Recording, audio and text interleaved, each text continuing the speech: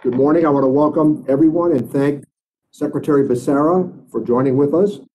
We're holding today's remote hearing in compliance with the rules and regulations for remote committee proceedings pursuant to House Resolution 8. Before we begin, I want to remind members of a few procedures to keep these proceedings running smoothly. First, consistent with regulations, the committee will keep microphones muted to limit background noise. Members are responsible for unmuting themselves when they seek recognition or when recognized for their five minutes. Committee staff will mute members only in the event of inadvertent background noise. In addition, when members are present in the proceeding, they must have their cameras on. If you need to step away to attend another proceeding, please turn your camera and audio off rather than logging out of the platform. And finally, in the event that I experience technical difficulties or need momentarily to step away from the hearing, Congresswoman Del DelBene is authorized to serve as chair. With that, we will turn to the topic of today's hearing, the President's proposed fiscal 2022 budget with Department of Health and Human Services Secretary Becerra. Let me extend a warm welcome to you, Mr. Secretary, and I know I speak on behalf of all members of this committee as we offer that welcome.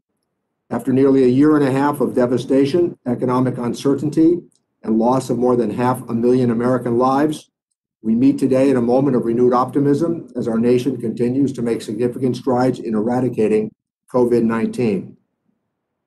Thanks to President Biden's leadership and the diligence of public health officials, health workers, and everyday Americans, coronavirus cases, hospitalizations, and deaths have dropped dramatically. This progress is in no small part due to the administration's effort to make vaccines available to all Americans over the age of 12. However, vaccine availability is different from vaccine administration, and there's still much work to be done to reduce hesitancy and combat misinformation regarding the vaccine. I'm impressed with the creative steps the administration is taking to encourage Americans to get vaccinated as well as the efforts to eliminate barriers to the shot, such as lack of childcare or transportation. Another critical issue that threatens the health of all Americans, it's also the target that we all understand of misinformation and as it relates to climate change. Climate change is real. It's a tremendous threat to our planet and to the health of all people. Secretary Becerra, I recently sent you a letter asking HHS to pursue a policy and regulatory changes that tackle climate change and promote sustainability. The healthcare sector can and must do more to reduce its carbon emissions and make its infrastructure more sustainable. The, there are opportunities for this committee and your agency to work together in this matter, and I certainly look forward to your partnership. A topic that I know is near and dear to your heart is the Affordable Care Act, a law that I am proud to say this committee played a lead role in authoring. In your short tenure at HHS, Mr. Secretary, you've already shown how the ACA can continue to expand its reach and its positive impacts.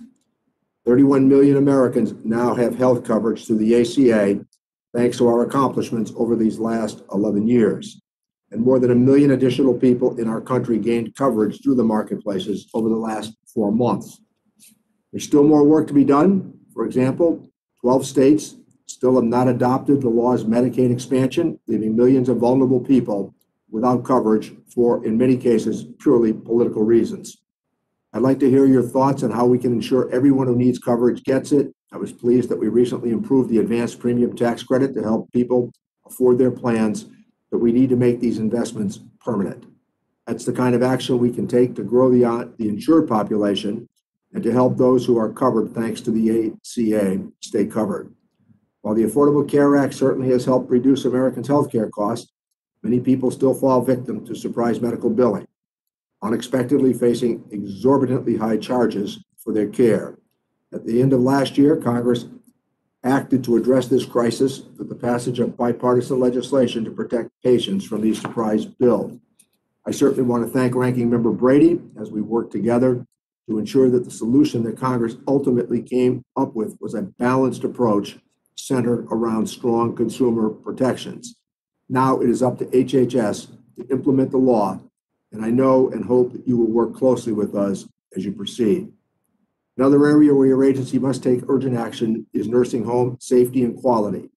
the pandemic's horrific impact on these facilities laid bare the long-standing problems and challenges that exist in that industry. I spoke with your predecessor many times about this topic and sent him a number of letters on the matter. Unfortunately, there was too little reform. I'm counting on you to make the necessary regulatory changes as Congress legislates. Just as the pandemic illuminated serious problems plaguing nursing homes, it also brought to the fore a variety of substantial challenges that have confronted working families in the United States for many, many years. A lack of paid leave and inadequate access to affordable, quality childcare are issues that existed long before COVID struck.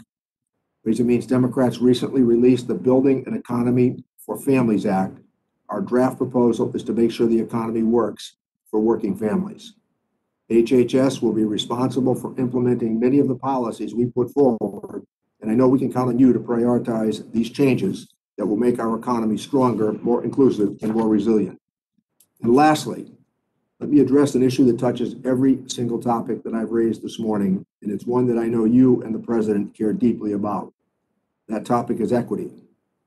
The Ways and Means Committee has become a leader in attempting to address these inequities in our healthcare system and society more broadly. Pleased that we've done quite a bit of bipartisan work on the matter, and I commend our committee members from both sides of the aisle who have led our rural and underserved communities healthcare task force as well as those who lead our racial equity initiative. One specific equity related matter I know that we want to raise, and that is the need to increase diversity in our physician workforce. I'd like to get your commitment to support a pipeline to practice program that would grow the number of minority doctors in the United States. This issue requires urgent attention, and I plan to introduce legislation on this in the near future. I know my comments have covered a lot of ground, but in truth, they've only begun to scratch the surface of the myriad challenges confronting our nation and your agency in particular. I am pleased to see such an esteemed Ways and Means alum at the head of the HHS at this pivotal time. I look forward to your partnership as we work together to improve the health and well-being of the American people. With that, let me recognize Ranking Member Brady for the purpose of an opening. Thank you, Chairman Neal, for holding this important hearing. And so it's good to welcome back a friend and former colleague of the House Ways and Means Committee, Secretary Becerra. But let's begin by taking a look at the health of the economy. Even though President Biden inherited a strong recovery, life-saving vaccines, and a reopening economy, he is sabotaging the jobs recovery with crippling tax increase proposals that hurt working families, slow hiring, and drive U.S. jobs overseas. Proof is in the April May jobs report, the first of which was a major economic setback, and the recent, which fell far short of even dumbed down jobs expectations. Long term unemployment is worse today than it was before the pandemic, and labor force participation has regressed to the 1970s. To put it in perspective, despite all the advantages he inherited, including trillions of new stimulus spending during her, his first five months, President Biden is half a million jobs short of what President Trump achieved in his last five months, most of which was during the height of the COVID deaths. The Washington Post recently gave President Biden two Pinocchios for his false claims about job creation. It's clear we don't need more stimulus, we need better economic policies. Despite our differences, our committees worked hard to find common ground, as the chairman said, in healthcare, foster care, Medicare improvements, telehealth, COVID aid, maternal mortality, helping the underserved and rural communities, and most recently, leading a first ever national ban on surprise medical bills. Regrettably, though, this hearing reveals a budget that is truly partisan.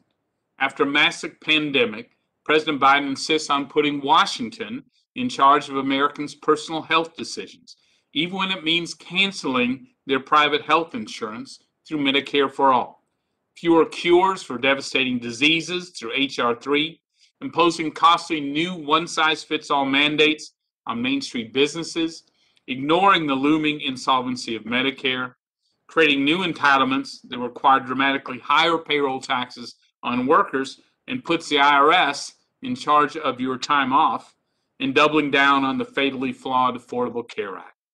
The fact is, Americans don't trust Washington with their life and death medical decisions.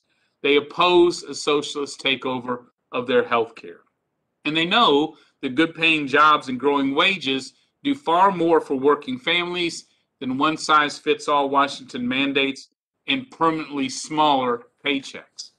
Americans also don't want lower drug prices at the expense of future cures for Alzheimer's, Parkinson's, ALS, diabetes, and cancer as Democrats rush through the House in H.R. 3.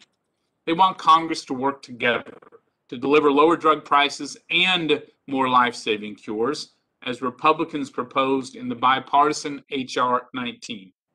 President Biden's budget ignores the looming insolvency of Medicare without meaningful reforms to address the fact that this program is just five years away from going broke. Instead, Democrats make it worse by expanding the program beyond today's seniors, jeopardizing the Medicare guarantee that seniors paid a lifetime into. The possibility that telehealth benefits may soon be stripped from those who relied on it to get through the COVID pandemic, another problem ignored in the Biden budget. This budget ignores the failures of the Affordable Care Act and seems to acknowledge that Obamacare has done little to address rising health care costs. And that's why the Biden budget spends another $160 billion over the next decade without addressing the real problem of continuing rising costs. The budget includes two new entitlement programs that will cost more than half a trillion dollars just in the first decade. And oh, yes, for the first time, puts the IRS in charge of your time off from work while permanently shrinking the paychecks of every worker, whether they use paid medical leave or not. President Biden and the vice president also continue to ignore the dangerous border crisis that treats so many young children cruelly, putting their lives at risk in the hands of dangerous coyotes. Now we're seeing America's foster children also hurt as the Biden administration diverts congressionally allocated health care and foster care funds that push America's foster kids out of their homes to make way for migrant children. This crisis has made its way into communities across the country, and it's making worse the challenges facing our foster care system. Just last month, nearly 300 children in Texas had to seek shelter in an office, a hotel, or a church because there were no open beds in our current foster care system. I hope that you, Secretary Becerra, as we discussed, can shed some light on the agency's handling of the crisis ensuring the well-being of the more than 100 or excuse me 18,000 unaccompanied kids in your care. There is too much stake at stake to get this wrong. I know that we can agree on this. Whether we're talking about foster kids, childcare, healthcare, Medicare, or life-saving cures, President Biden's budget, in our view, is the last thing Americans need. We should and could go a different way we can tackle enormous challenges by working together. And I hope that's what we do. Secretary Becerra, welcome back to the committee and Chairman Neal. I hope we can take a step in that direction today. I yield back. Thank you, Mr. Brady. And without objection, all members' opening statements will be made part of the record. Our witness today really needs no introduction. Secretary Becerra is the 25th Secretary of the Department of Health and Human Services. He served 12 terms as a member of the U.S. House of Representatives he was a member of this committee from 1997 until he was appointed Attorney General for the state of California in 2017. Mr. Secretary, we appreciate your presence here this morning. We received your written testimony and it will be made part of the record in its entirety. I ask that you summarize your testimony in five minutes or less. And to help with that time, please keep an eye on the clock that should be pinned to your screen. I will notify you when your time has expired. Mr. Secretary. Chairman Neal, Ranking Member Brady, and members of the committee, thank you for the opportunity to be back with so many friends and familiar faces to discuss the President's 2022 budget for the Department of Health and Human Services. Uh, this department is at the center of many challenges facing our country. The COVID 19 pandemic has shed light on how health inequities and inefficient federal funding can leave communities vulnerable to crises. Now more than ever, we must ensure that HHS has the resources to achieve its mission and build a healthier America. For HHS, the budget proposes $131.7 billion in discretionary budget authority and 1.5 trillion in mandatory funding. This budget underscores the administration's commitment to prepare the nation for the next public health crisis, to expand access to affordable health care, to address health disparities, to tackle the opioid and other drug crises, and to invest in other priority areas like maternal health, tribal health, and early childhood education. Of course, the fight against COVID 19 is not yet over. But even as HHS works to beat this pandemic, we must also prepare for the next public health crisis. To start, the budget makes significant investments in our preparedness and response capabilities, including by investing in the strategic national stockpile and the public health workforce. It provides a mandatory, a new mandatory funding stream for the manufacture of medical countermeasures here at home uh, to protect Americans from future pandemic and to create U.S. jobs.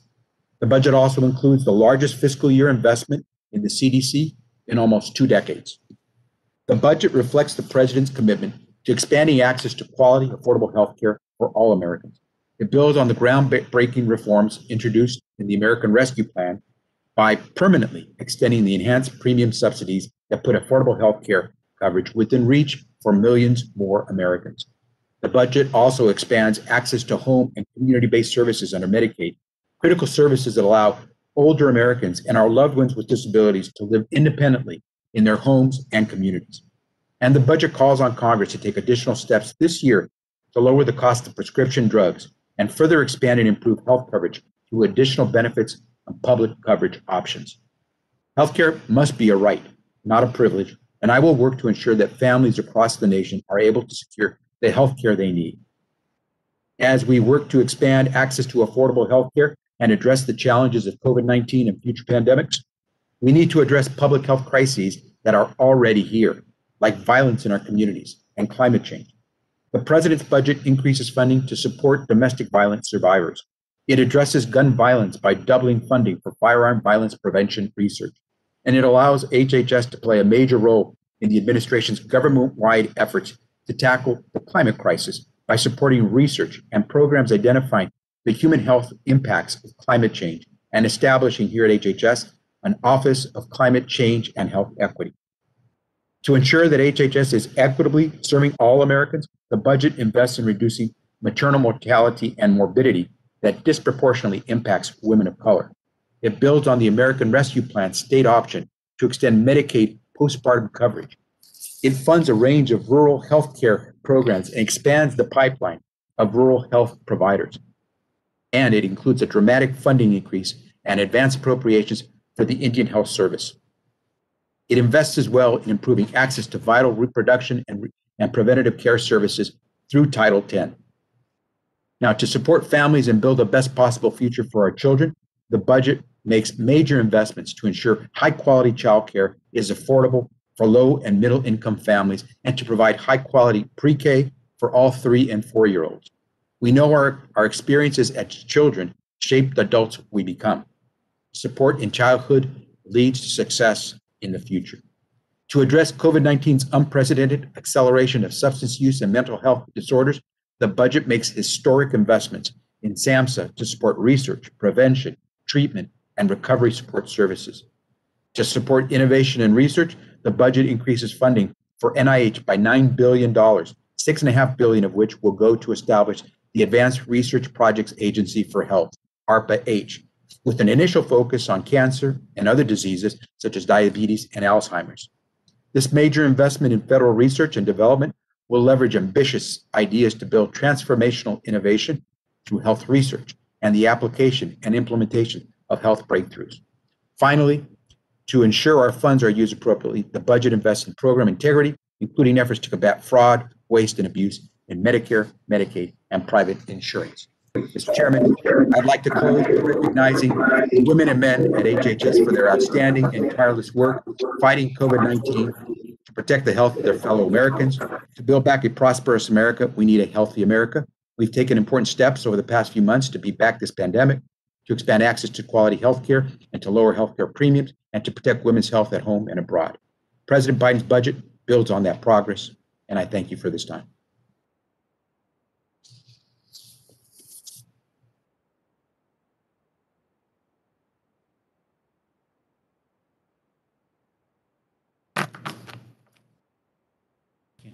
What's going on? I think the chairman's muted. Some pressure to accommodate both institutions Hold on, today. hold on.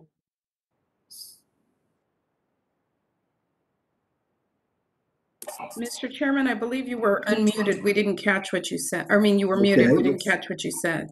Let's try it again. No. Not yet? Oh, there we go. Okay. So without objection, each member will be recognized for four minutes to question our witness so that we may ensure that all members have the opportunity to inquire before the secretary is scheduled to leave.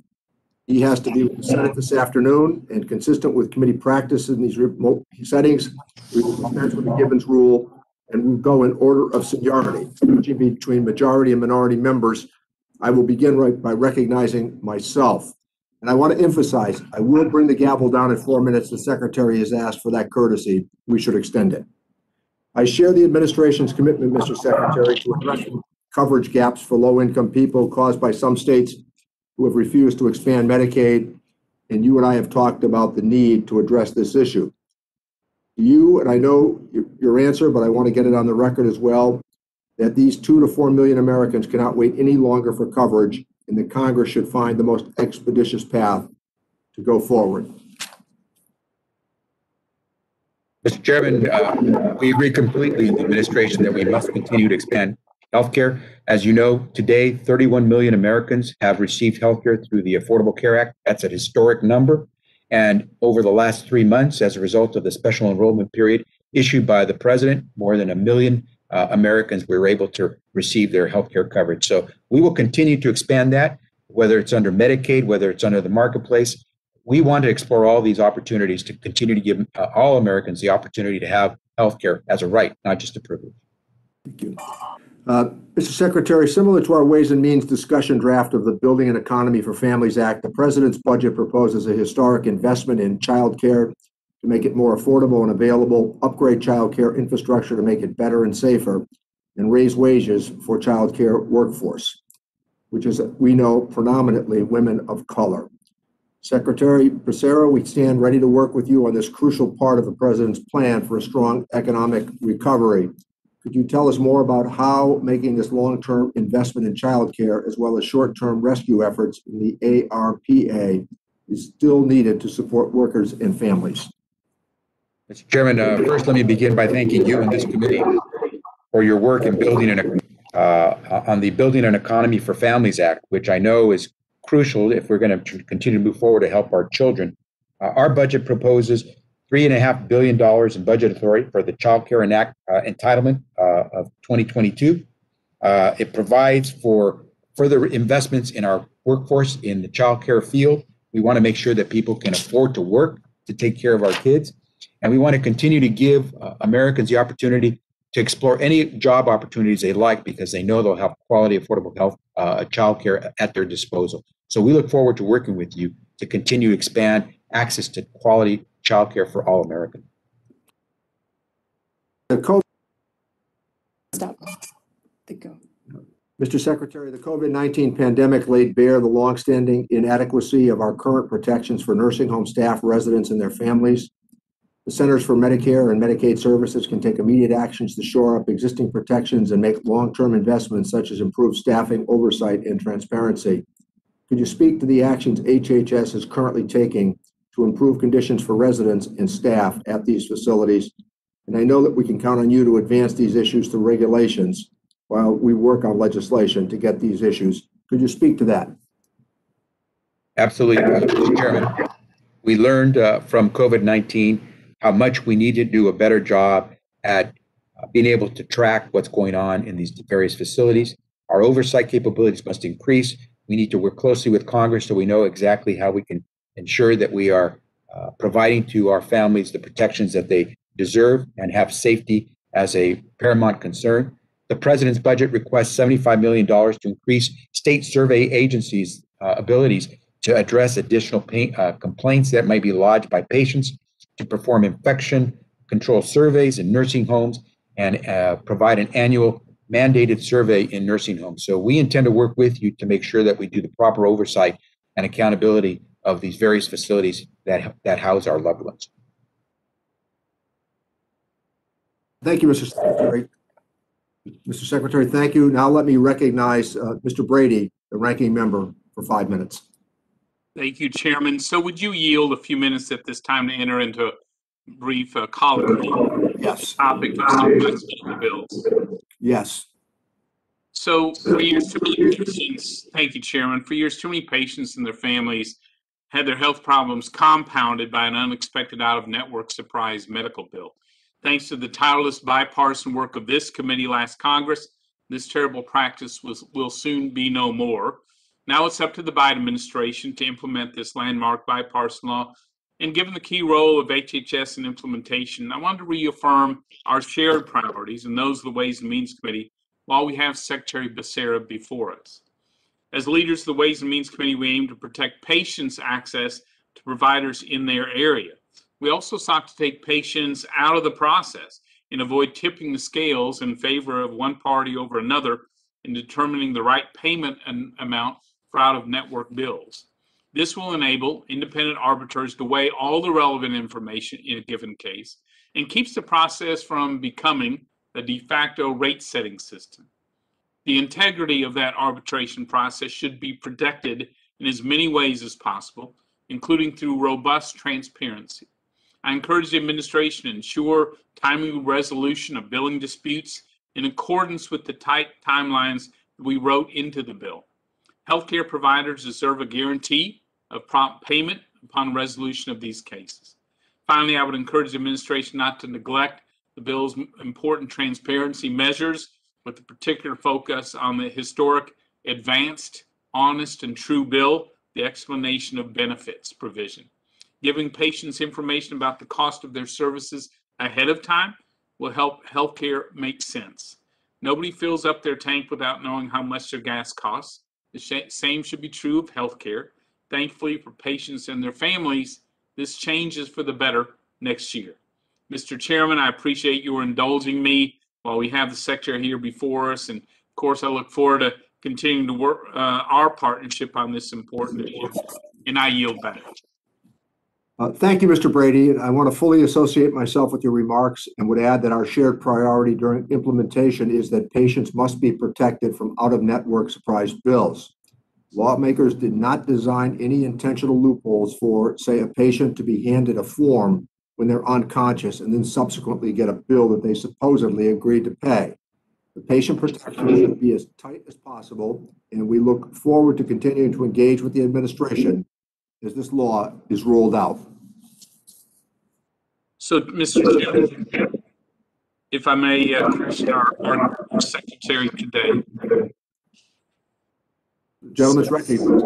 Thank you, Secretary Becerra. You know, I think there are several areas of common agreement here, including making uh, America medically independent from China in uh, crucial medicines, medical supplies, and ingredients ingredients to build that. I hope we can work together on issues like the underserved, the poor, the rural, uh, as well as uh, is ensuring that telehealth, which was one of the saving graces in the COVID uh, can become permanent uh, access and flexibility to connect our patients uh, with their healthcare providers. I also want to talk about an area that really concerns me and I think others uh, in the country. This is the unaccompanied minors in HHS custody. Unaccompanied minors have been streaming across the border in unprecedented numbers for months now. I've been there. There is a real crisis at our southern border. I'm concerned the administration is in denial about this and certainly has no plan to address this. So I've written two separate letters to you on this issue, and I, and Mr. Chairman, I ask unanimous consent both these letters be entered into the record. So ordered. You know, it's my understanding most children will be unified with sponsors, but a good number are not. And I want to focus on that. I believe it's roughly 10% of the unaccompanied migrant, migrant kids have no sponsor, need some sort of long-term foster care placement. The problem is our American foster care system is is already overwhelmed and frankly in some cases is simply cruel. And given the significant increase in kids coming across the border over the last few months, in the knowledge that this is already hurting some of our U.S. foster kids as we try to get a roof over their head uh, in, in foster parents, what is your plan to uh, protect American foster kids uh, with this uh, system, to anticipate and manage the increased need for long-term foster beds? First, Congressman Brady, great to see you and thank you for the questions. Very much looking forward to working with you, including on this issue, uh, to trying to help our foster kids. Let me assure you that all the work that we're doing with regard to the unaccompanied migrant children, and we have responsibility for them to provide them with the health and safety while they're in this country, how, for however long that might end up being. We will not uh, let that impact the work that we all are doing to, to care for our foster children throughout the country. They, they run on two separate tracks, but the work we do with unaccompanied minors, uh, migrant uh, children, and that which we do with regard to foster care. And I want to assure you that we will continue to keep those separate. Thank you, Ms. Secretary. And one, that's terrific to hear, and I know you're sincere in this. So when, from a timetable standpoint, when might might we see a plan on how we address this issue? One, where Republicans and Democrats can work together? Sharon, I, I, I- Mr. Brady, I'm glad you're asking that question because we, we're looking and the budget, our budget essentially telegraphs that we're looking to come up with long-term solutions. Uh, we know because previous administrations have gone through this, that the phenomenon of seeing migrant children at the border unaccompanied is not new. And so we intend to try to come up with a solution that doesn't let us have to gyrate through the, the, the process in a year to come up with uh, long-term solutions. We look forward to working with you. It is expensive anytime you have custody and uh, the need to provide health and- and safety to children. And so we look forward to working with you and coming up with some long-term solutions. Great. Thank you, Mr. Secretary. Thank you, Chairman. Thank you, Mr. Brady. With that, let me recognize the gentleman from Texas, Mr. Doggett, to inquire for four minutes. Thank you very much, Mr. Chairman, and uh, thank you, Mr. Secretary, for your important leadership. Uh, My home state of Texas unfortunately bears the disgraceful distinction of having more uninsured citizens, more uninsured children than any place in America. I was pleased to hear your comments earlier about your interest in addressing this problem. We've learned that as many as uh, 2 million Texans could get access to a family physician through extension of Medicaid. Unfortunately, Texas, as is true in 12 other states, ideology gets in the way of caring for citizens who are vulnerable and economically disadvantaged. You mentioned a couple of ideas already. I want to bring to your attention another one, and that is to authorize Medicaid, CMS, to contract directly with local governmental units in those states that have put ideology ahead of healthcare. Uh, this would be a way to have essentially a local option uh, to protect uh, vulnerable citizens and extend Medicaid to them on the same basis in a local area through a county, a hospital district, a city, as has occurred uh, in most states that exercise the good judgment of taking 100 uh, federal cents on the dollar uh, to extend Medicaid. Uh, have you considered this alternative, which I know has worked previously in your home state of California and some other places? An alternative that uh, will be included in legislation that I'll be introducing with uh, probably just about every Democratic member from the 13 uh, expansion states.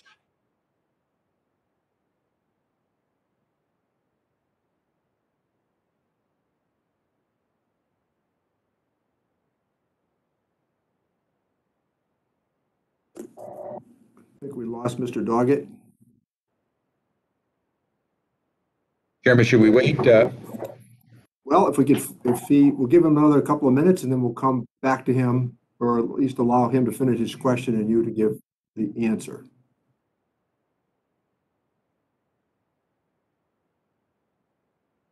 What we'll do is we'll come back to uh, Mr. Doggett. Why don't we recognize uh, Mr. Nunes, gentleman from California? Thank you, uh, Mr. Chairman. I really appreciate the the time today, and thank you, Mr. Secretary, for your attendance today. To be prepared for the next pandemic, we must have robust domestic manufacturing of pharmaceuticals, and that's my topic here today. If we're going to continue to be the world's leader in innovation in numerous areas within the healthcare sector, we can't leave ourselves or our international partners vulnerable to China when it comes to this critical issue. This is why I introduced two bills in the last Congress to incentivize domestic manufacturing. It is also why I'm concerned about the Biden administration's support for the TRIPS waiver, which would force American innovators of COVID vaccines to share their proprietary information with foreign nations, including China, Russia, and other hostile regimes. Because the waiver clearly jeopardizes the future development of vaccines and cures in the United States, today I introduced another bill to require that the administration consult with Congress, analyze all the implications, and protect U.S. national security before waiving any intellectual property protections for vaccines. I recognize that USTR is leading the waiver negotiations, but the HHS should play a central role in analyzing the waiver's effects uh, in both the United States and globally. It's, cl- it's critical that we assist the global distribution of COVID vaccines, but a TRIPS waiver, which is opposed by allies like Germany, would take years before yielding large numbers of vaccine doses abroad.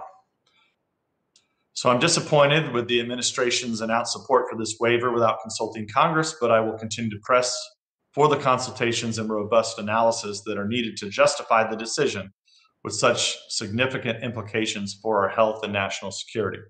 And with that, uh, Mr. Secretary, uh, what I'll do is I'm just going to ask two questions for the record, and and uh, you can either answer them now, if we but if we run out of time, uh, you can answer them for the record. But once again, I appreciate you being here. But uh, I have two questions uh, that are fairly simple and straightforward. The first is Has HHS conducted any analysis of the impact of any waiver of intellectual property on domestic manufacturing or innovation?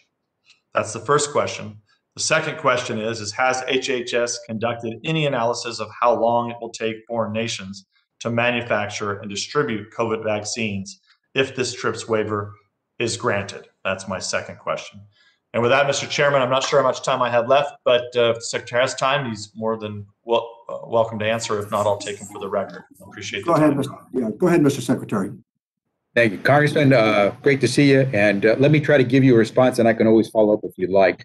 First, uh, on, the TRIPS waiver, please uh, let's recognize that the president has said he is willing to open that uh, to negotiations.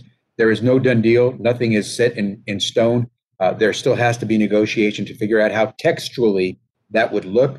And so, what I can say to you, as someone who have, as you has, has worked in the past on these issues involving intellectual property and the protection of our our own rights as Americans, uh, we will make sure that we're protecting those property rights as we always have in the WTO. Uh, what I will say to you is that whether we get to some negotiated language that allows us to move forward with vaccines uh, will depend on the negotiations that have to take place on that TRIPS language. Secondly, with regard to domestic manufacturing, I think there's a, a great deal of bipartisan support to move in enhancing our uh, abilities to manufacture here at home. And the American Rescue Plan provided $10 billion for us to, to do that, to increase that domestic capacity. And so we hope to work with Congress to put that into uh, fruition to make sure that we have American manufacturers, whether it's for masks, PPE, vaccines, to the degree, degree possible, we do it here at home. Thank you. Thank you, Mr. uh, Secretary. Let us return to Mr. Doggett. Lloyd, are you ready?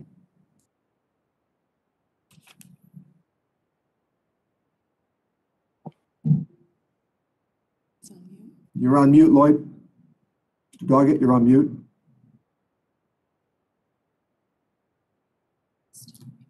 Okay, so we'll come back to you again, Mr. Uh, Doggett. you hear me now? Go ahead. Okay, thank you very much. I, I was asking the secretary about his reaction to uh, allowing local governments to contract directly with CMS as one option to meet this great gap of the uninsured. Congressman Doggett, first, uh, great to see you again, and thank you for always pushing so hard on some, some of these matters. Uh, as the president has said, we're going to do everything we can to expand access to care. There are any number of great ideas to do that. Thanks for the work that you've been doing. Uh, you've mentioned how states like California have taken advantage of these waiver opportunities.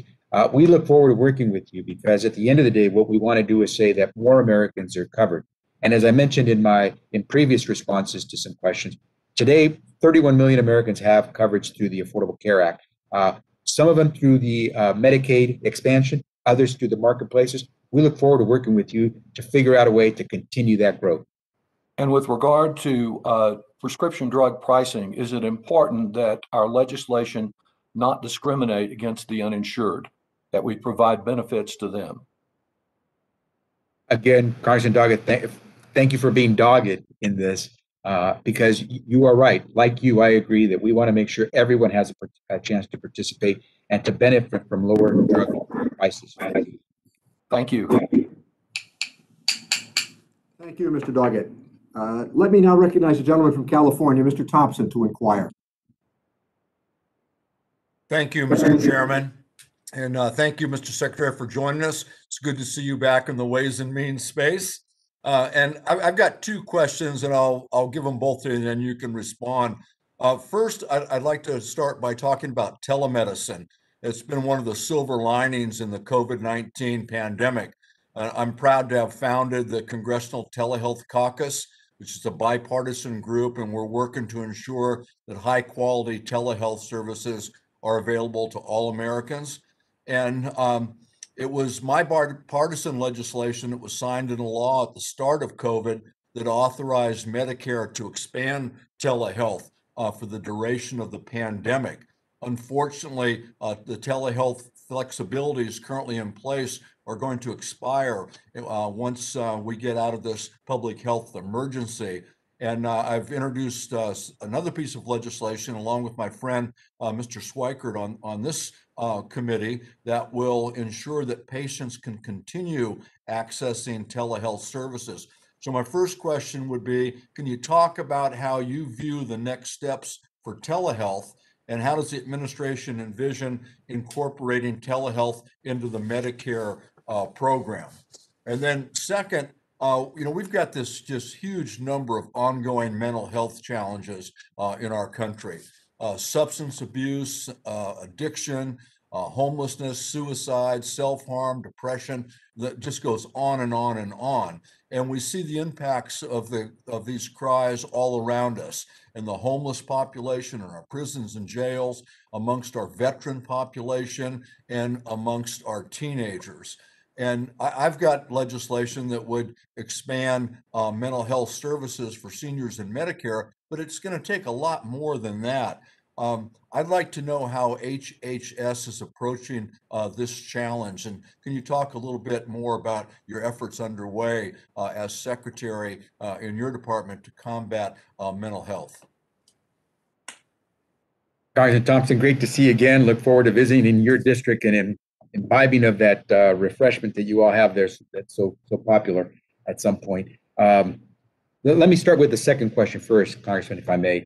Uh, We recently announced $3 billion that we would be putting out as a result of the American Rescue Plan that you all helped push through the finish line. That will let us put money into mental health services with SAMHSA and also for substance use disorder services. Uh, major investments never would have been possible without your support, and, and we're going to put that to work immediately. Secondly, to the question about telehealth. Wow, do, do we get to learn things from COVID 19, right? And telehealth was one of the real benefits of seeing how we could adapt. And so now it's a matter of figuring out how we can deploy some of that long term, because as you said, some of the authorities will expire. We look forward to working with you because some of that authority will have to come through statute. Some of that we can probably do through administrative regulation. But what we do know is we can't go back to the old way of doing business. We have to take advantage of telehealth. Well, thank you, uh, Mr. Secretary. And I, I just want to close by saying that so many of the problems that we face today are tied to mental health.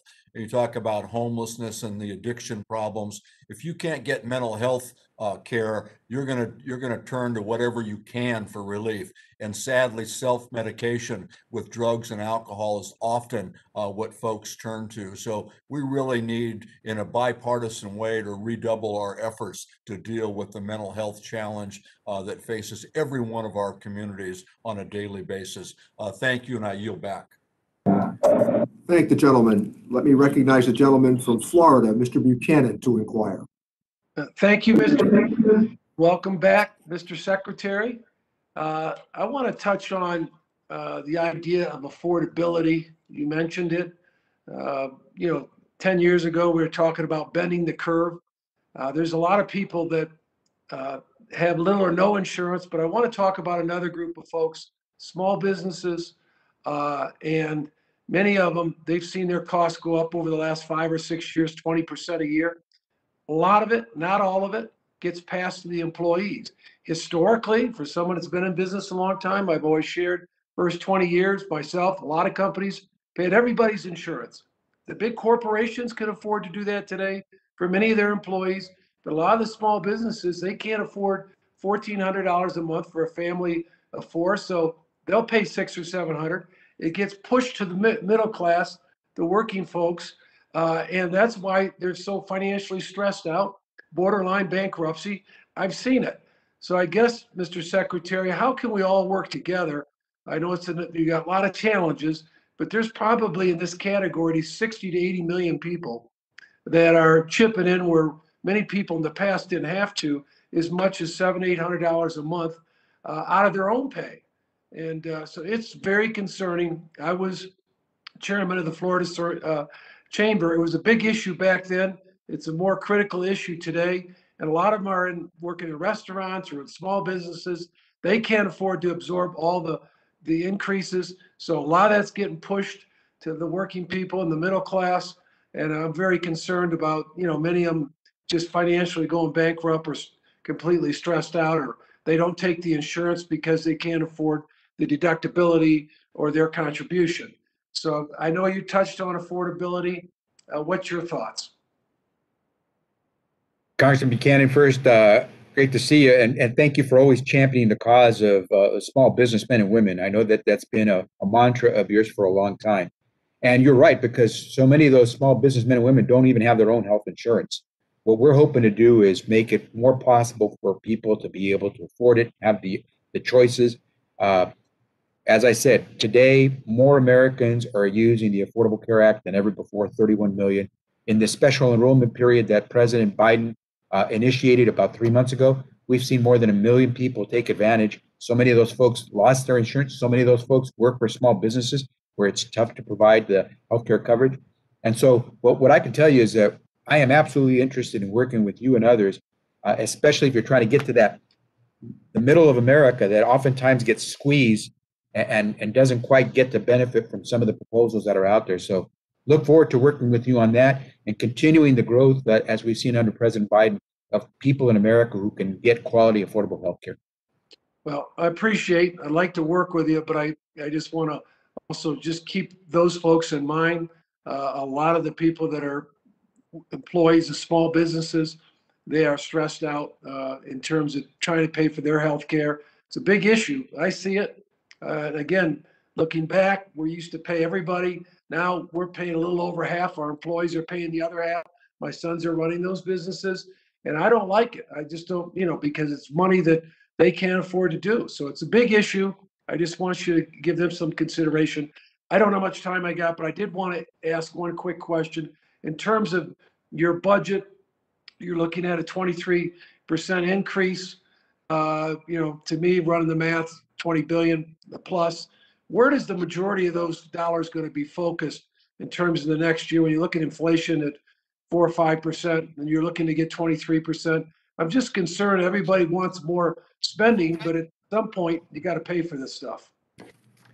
Congressman, so much of the money that's coming in is going to be invested in some of the behavioral health issues that I just previously spoke about, how we deal with mental health, substance use disorder issues. So much of what we're going to need to do to recover from from COVID. And also, I should mention the fact that the president is making sure that those middle income Americans, so small business people who would fall off the cliff, cliff of coverage in terms of a subsidy, if we're able to make this uh, expanded uh, support uh, on the subsidy permanent, millions of Americans who are in the middle, a lot of those small businessmen and women, are going to be able to keep their insurance because they will no longer fall off the cliff when they get to a certain income level and all of a sudden lose those subsidies. So much of the money is invested to improve healthcare and make sure we tackle all those health issues that we're seeing as a result of COVID.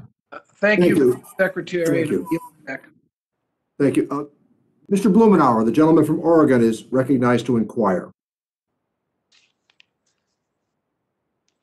Thank you, Mr. Chairman. And uh, Mr. Secretary, it's such a pleasure to welcome you back to the committee. Uh, we look forward to working with you uh, and the administration in this critical function. Um, the president's healthcare budget demonstrates his deep commitment to the health and well-being of Americans. Our healthcare system faces significant challenges, uh, including the coming exhaustion of the Medicare Trust Fund uh, and increasing cost of healthcare, lack of choices for individuals with serious illness, and at the end of life. I'm pleased to see the president's budget would make significant investments in the Affordable Care Act insurance subsidies. However, making healthcare itself more affordable by increasing public subsidy does not reduce the cost of healthcare itself.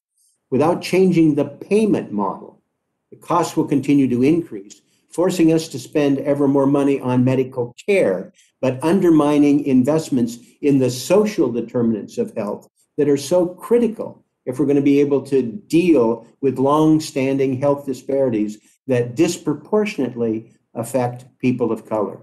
Furthermore, governors, even in Medicaid expansion states, will be hard pressed to maintain existing coverage without a way to reduce the cost of care. Given the constraints of reconciliation, it'll be difficult to address medical inflation through congressional action alone. The use of facilitated 1115 and 1332 waivers offers a path for a carefully selected states to expand on the work currently being pioneered in my home state of Oregon and in Maryland, which are demonstrating innovative ways to reduce the total cost of care while maintaining access, benefits, and quality. Would you be willing to consider a waiver strategy as an administrative complement to the legislative initiatives being pursued? Congressman Blumenauer, uh, as you know, this administration is willing to look under every rock that uh, any member of Congress puts before us to see if there's a better solution for healthcare. We want to continue to expand coverage. We want to continue to lower costs. So if you and your colleagues come up with some good ideas when it comes to prescription drugs, on better access, on innovation, on bending the curve, we're willing to listen. And I know that you have a number of good ideas in your pocket. I'd love to continue to work with you on these things because at the end of the day, what President Biden simply wants is to make sure that Americans don't have to worry uh, about whether they should pay the rent or be able to send their child to see the doctor. And uh, we all have to have that peace of mind. We look forward to working with you on that. I, I appreciate that very much and would look forward to exploring what has happened with the waiver strategy uh, as a way to deal with the total cost of care. Uh, and I hope that we could explore that together. One other thing you recall from your days on this committee when we were dealing with the Affordable Care Act, I was deeply concerned about the about end of life care and how uh, we had problems. You remember with the phony uh, uh, controversy over death panels. But we finally got the opportunity for the federal government to invest in those uh, that uh, end of life care. But there's very low utilization right now. Uh, do you any thoughts about what we might do to enhance the opportunity for American families to make sure they get the care they want in those vulnerable times? That one's uh, uh, uh, that's an issue near and dear to me, Congressman, because my father, who lived with me his last four years of life, uh, had his family surrounding him the day he died uh, about a, a year and a half ago, and you would hope that everyone would have an opportunity to be able to have more say in their healthcare, especially towards the end of their life. Uh, those decisions are tough. My state has made, as your state has made advances in that regard. I look forward to working with you to see how we can do something at the federal level. Thank the gentleman. Let me recognize the gentleman from Pennsylvania, Mr. Kelly, to inquire. Thank you, Mr. Chairman. And uh, Mr. Secretary, good to see you again. You're looking quite well. Hey, uh, what my questions, and we only have four minutes, but I, I've sent a couple of letters to you. I'm going to ask Mr. Chairman that they be submitted uh, into the record. Uh, my big question uh, in Erie, Pennsylvania, we had a number of our unaccompanied children uh, show up there. Uh, when I found out they were there, I made a call and I went up to Erie to see them, and they told me, "No, you don't need to come up. They're already gone." And my question comes down to, uh, do we have any way we can look at what the contract is for people who are taking care of these children? It's a big operation. Now, the kids that were in Erie, Pennsylvania, were only there for a couple days. After I was told they weren't going to be there at all because the facility wasn't ready for them, uh, 150 kids, about 175 to 180 staff members to take care of them. Within two or three days, they were all gone. Uh, some of them had COVID. Uh, and my question to you, and I know you're busy, and I know you're not going to be able to answer this now because of our time. Would you please get back to me at these emergency intake sites? What is the contract? I've been told it's anywhere from 750 to 800 dollars per day per child. That, that the cost of operating. It's a huge operation. I was down in Donna, Texas. Incredible job that we did setting up a tent city to take care of these children. I watched the implementation of it, but I, I would really like to see going forward what is the policy going to be? What is the process going to be? And what does the contract look like? I can't get any information. I know you're busy. We sent you a couple letters. I would really appreciate it. I- I know, I don't expect you to answer this right now, okay? I mean, this is, this is, this is like Jesus on Holy Thursday. You're getting it from all sides. Uh, let's just do this. If you can get back to me as soon as possible, I would really appreciate it. I know the people in Erie didn't understand what happened. Uh, they were very welcoming, by the way, to have these children there. But Mr. Secretary, they're only there a couple days and then they were all gone. So going forward, the policy, the process and the cost and what, the- and what the contract looks like. Congressman, great to see you. And I, I, you still have the same energy. It's great to see, great to see. And absolutely, we will follow up. You are absolutely right. The folks in Erie were very welcoming. Uh, we have an obligation to make sure we take care of these kids and provide them with the safety and health that, that that's required. Uh, we work with our partners. We, we follow the federal acquisition uh, regulations when it comes to contracting. Rather than try to get into detail because of the time constraint, let's follow up. But what I can tell you is this, we make every effort to make sure that any site that we stand up will provide the safety and the uh, health needs of those uh, migrant children for however long they're going to be in this country. Who knows what their status will end up being? But we have an obligation to make sure that they are cared for. We're going to do it the right way. And we thank those communities that are willing to help us out. We've had a lot of folks come forward, donate supplies and toys and gifts. And the folks in Erie were very gracious as well. Yeah, well, that's great. If you can get back to me if, on what that contract looks like with the providers of those, those services. So, Mr. Secretary, good seeing you. Stay healthy. I'm glad to work with you and I'm really looking forward on this, this issue to make sure we just keep moving forward. Mr. Chairman, thank you. Mr. Secretary, thank you. I thank the gentleman. Let me recognize the gentleman from, uh, from uh, New Jersey, Mr. Pascrell, to inquire. Good Morning, Mr. Chairman, and good morning, Mr. Secretary. Good to see you. You look healthy, stay healthy. Uh, I appreciate your work in the Biden administration's efforts to invest in public health and healthcare. Many priorities in the budget, like strengthening the ACA and lowering drug costs and expanding Medicare, they're long overdue. So here are my questions. The FDA supports a unique device identification system. And we've been putzing around with devices for the last 10 years. And we're finally, mo- hopefully moving on it.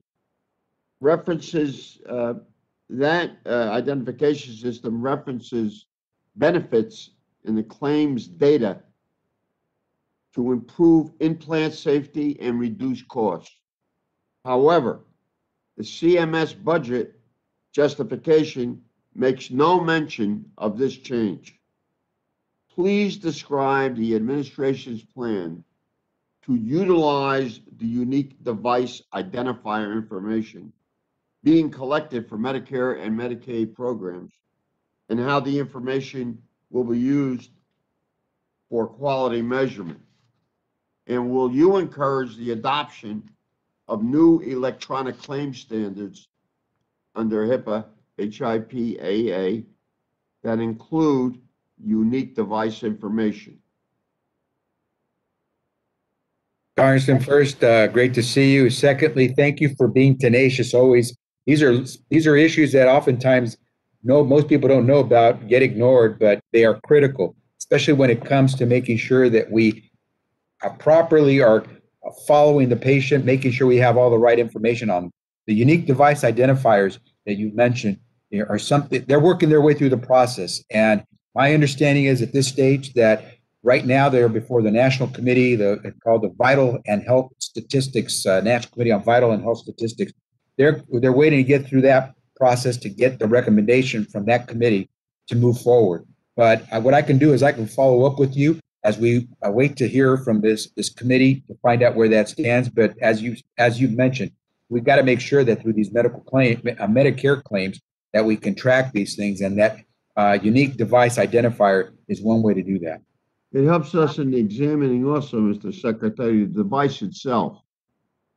There are many different devices, you know better than I do. And these devices uh, need oversight in terms of what they do to the human body. And we're finding more and more out, and a lot of other companies don't like the idea, a lot of companies. Uh, The second question was Wall Street's tentacles in our healthcare system continues to grow. We talked about this a lot when you were around here.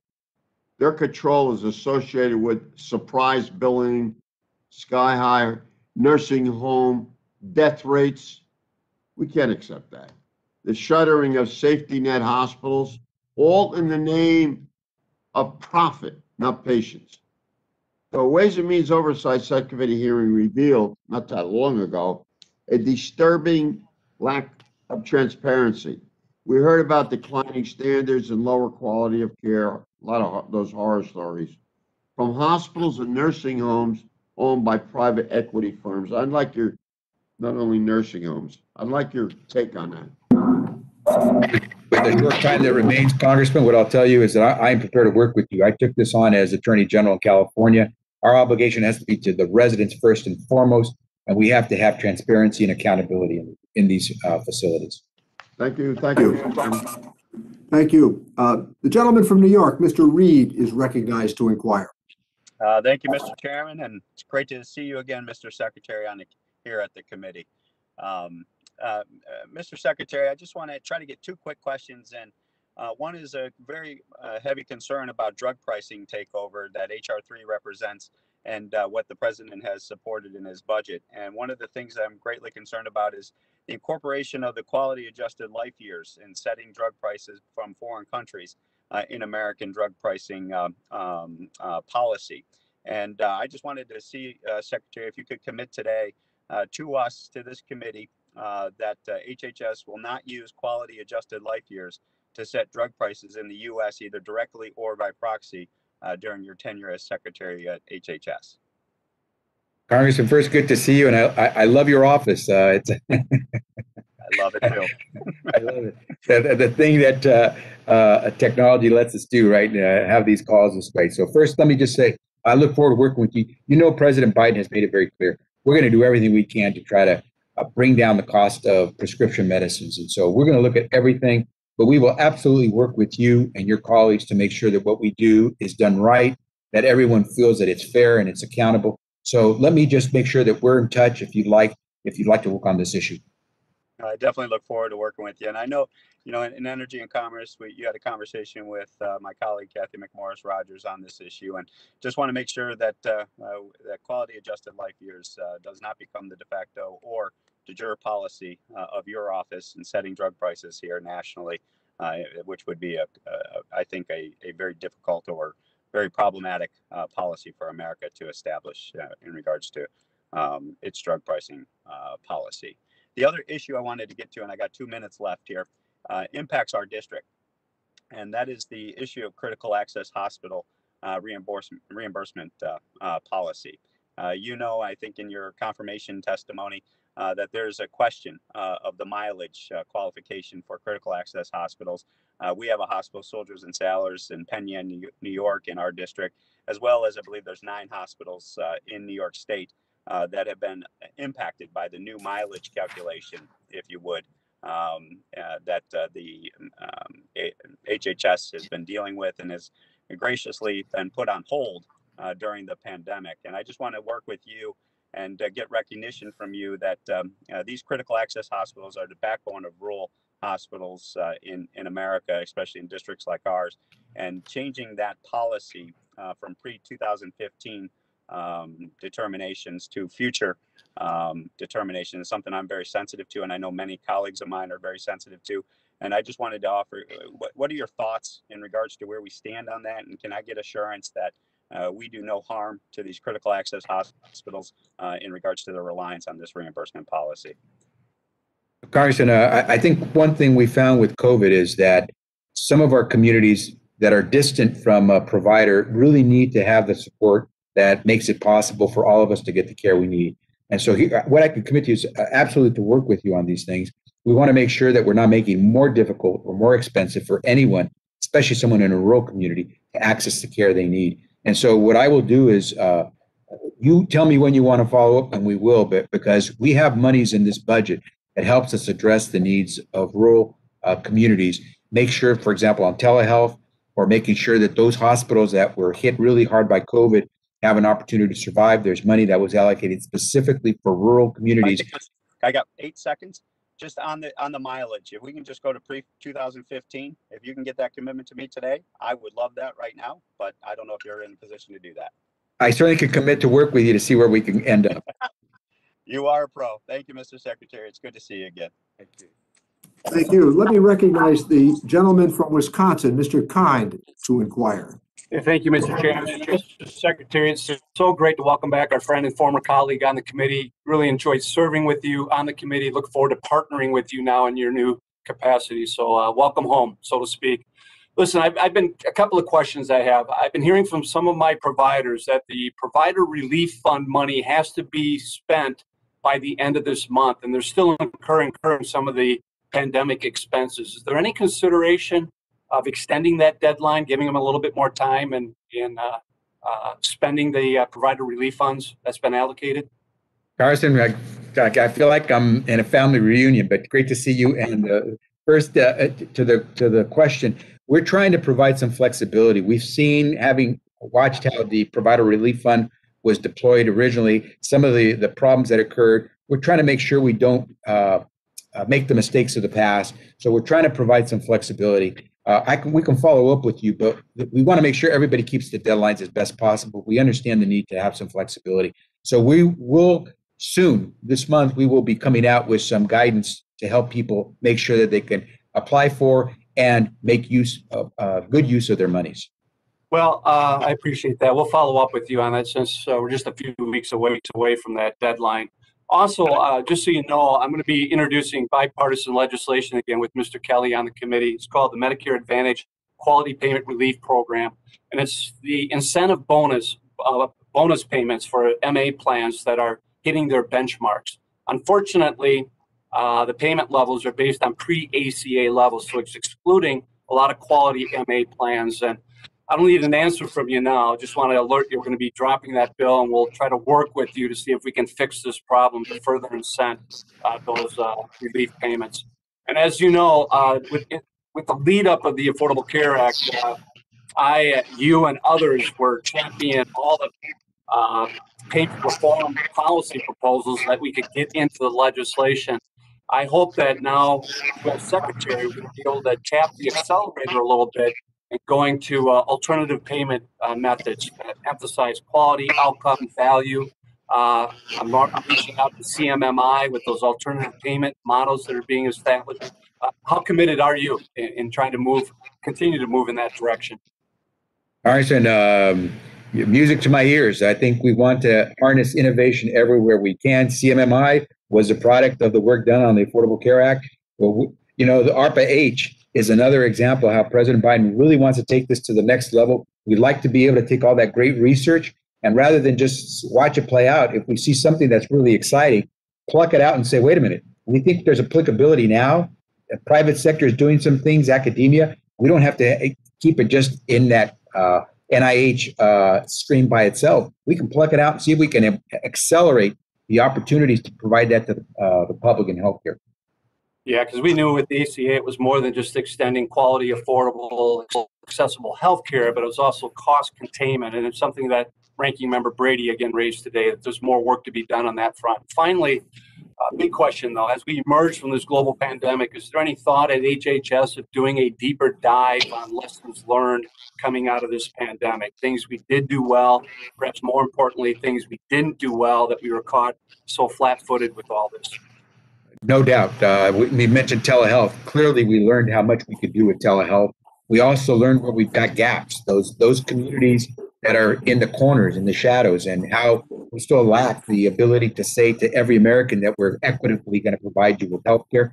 And so, absolutely, we're going to have a lot of lessons learned from COVID. Great. Thanks, Xavier. Great seeing you. Thank the gentleman. Let me recognize the gentleman from Missouri, Mr. Smith, to inquire.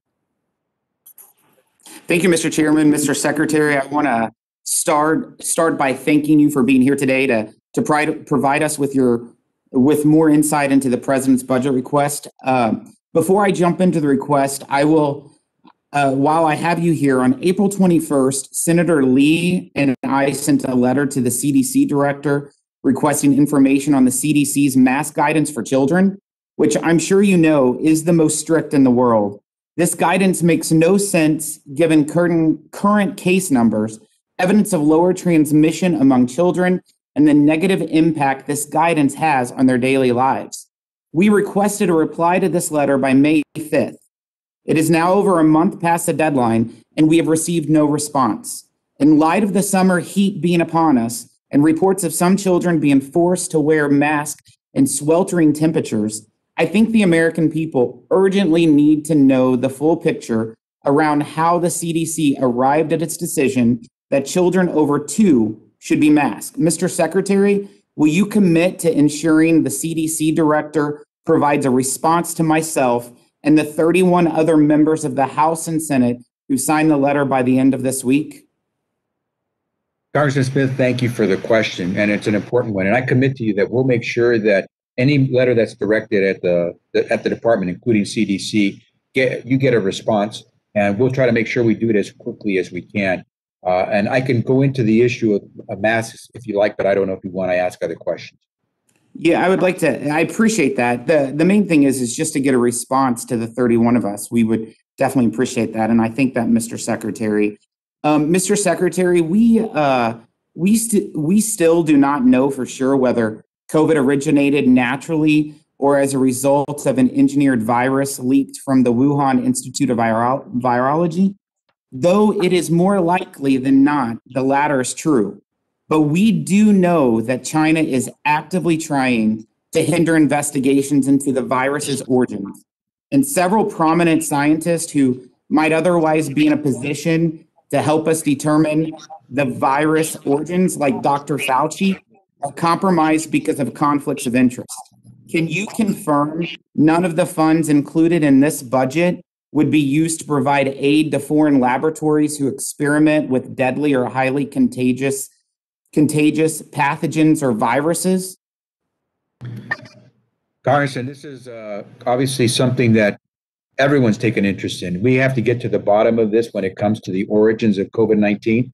The president has asked for uh, an investigation into this within 90 days. He wants to hear a report back. I myself, probably about a month ago, when I had an opportunity to address the world, uh, the World Health Assembly, I also said it was time for us to get to the bottom of this.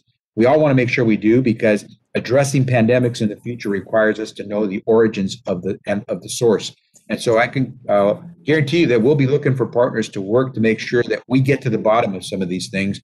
And whether it's the, the authorities within HHS, CDC, NIH, uh, others, or whether it's the president himself working with the intelligence community to try to get to the bottom of this, we're going to do what we can, and we look forward to working with you on that.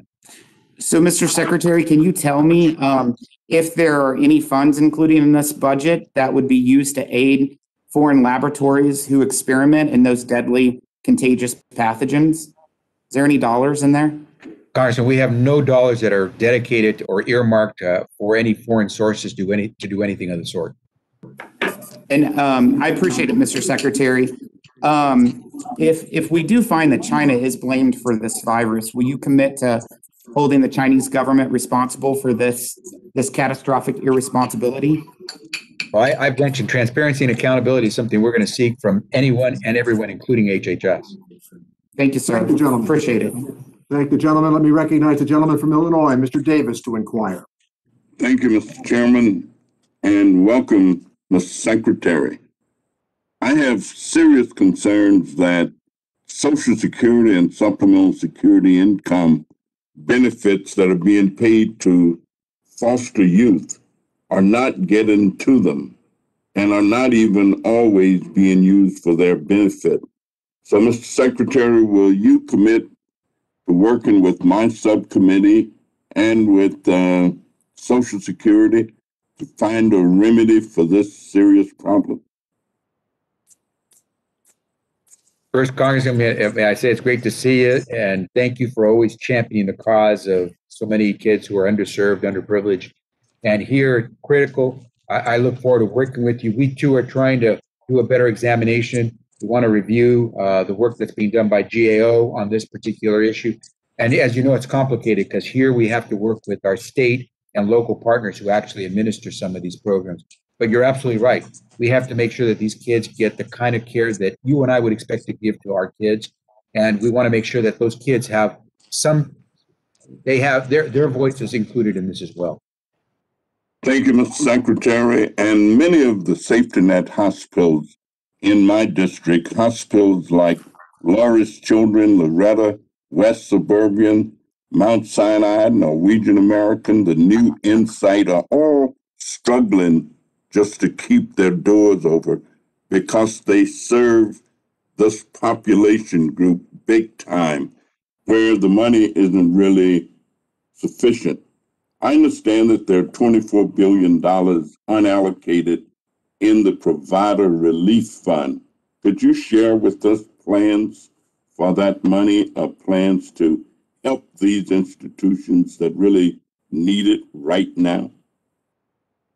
Congressman, as you remember, when I was there in Congress, I worked really hard with you and others to try to make sure that many of these safety net hospitals that care for their our poorest, our sickest, don't go under simply for trying to for trying to do the right thing.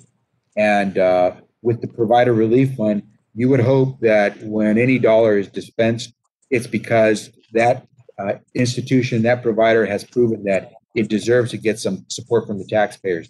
We're taking a close look at the provider relief fund with the monies that still remain.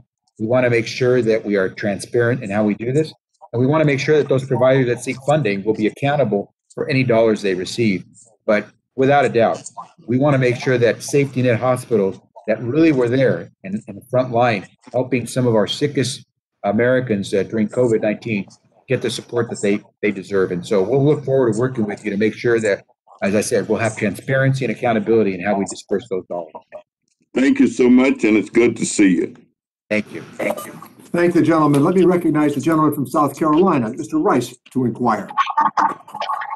Thank you, Mr. Chairman, and thank you, Mr. Secretary, for being here today. Uh, Your testimony that you submitted, your written testimony didn't mention telehealth. And I've got three very rural counties with majority minority populations that are very much underserved in terms of healthcare facilities. Telehealth has been a very big boon to them, particularly in the time of COVID. I'm glad to hear you, your testimony live today where you support telehealth. And I just want to give you one more chance. Do you believe that telehealth provides a valuable resource and particularly for rural and minority areas? Congressman Rice, that's probably the easiest question I've been asked today. The answer is yes. Yeah, I hope your, I hope your further questions will be just the same. Uh, I have a bill up that would require, that, that would allow, uh, uh, people to have direct access to audiologists, because again, I've got very, uh, rural populations that are very much under, underserved by primary care physicians. And the requirement that they first have to go and get a referral is very onerous to them. I think that this is something that you championed while you were in Congress as well. Will you support uh, a change in the process to allow people to go directly to audiologists rather than being referred under Medicare? Congress, I look forward to working with you. As you mentioned, I've worked on a number of these issues. Obviously, I, and now as secretary, my, my job, my role is a little different than as member of Congress, but absolutely look forward to working with you as you all try to figure out some solutions. Please know that we'll be there for technical assistance or perhaps to be able to implement, uh, but we look forward to working with you. All right. Uh, South Carolina is facing a reduction in their TANF block grant because uh, there's a requirement that you have a 90% paternity establishment to qualify. And uh, the reason that we're, we're not able to meet that threshold is because of COVID, because obviously the healthcare facilities and the laboratories were overwhelmed. And we're just now coming out of that. But I don't know how quickly we're going to be able to do it. And we can't really afford to have our welfare recipients uh, be docked because of this, this, this, this failure that was put on us by COVID. Would you support a waiver of the 90% paternity establishment requirement?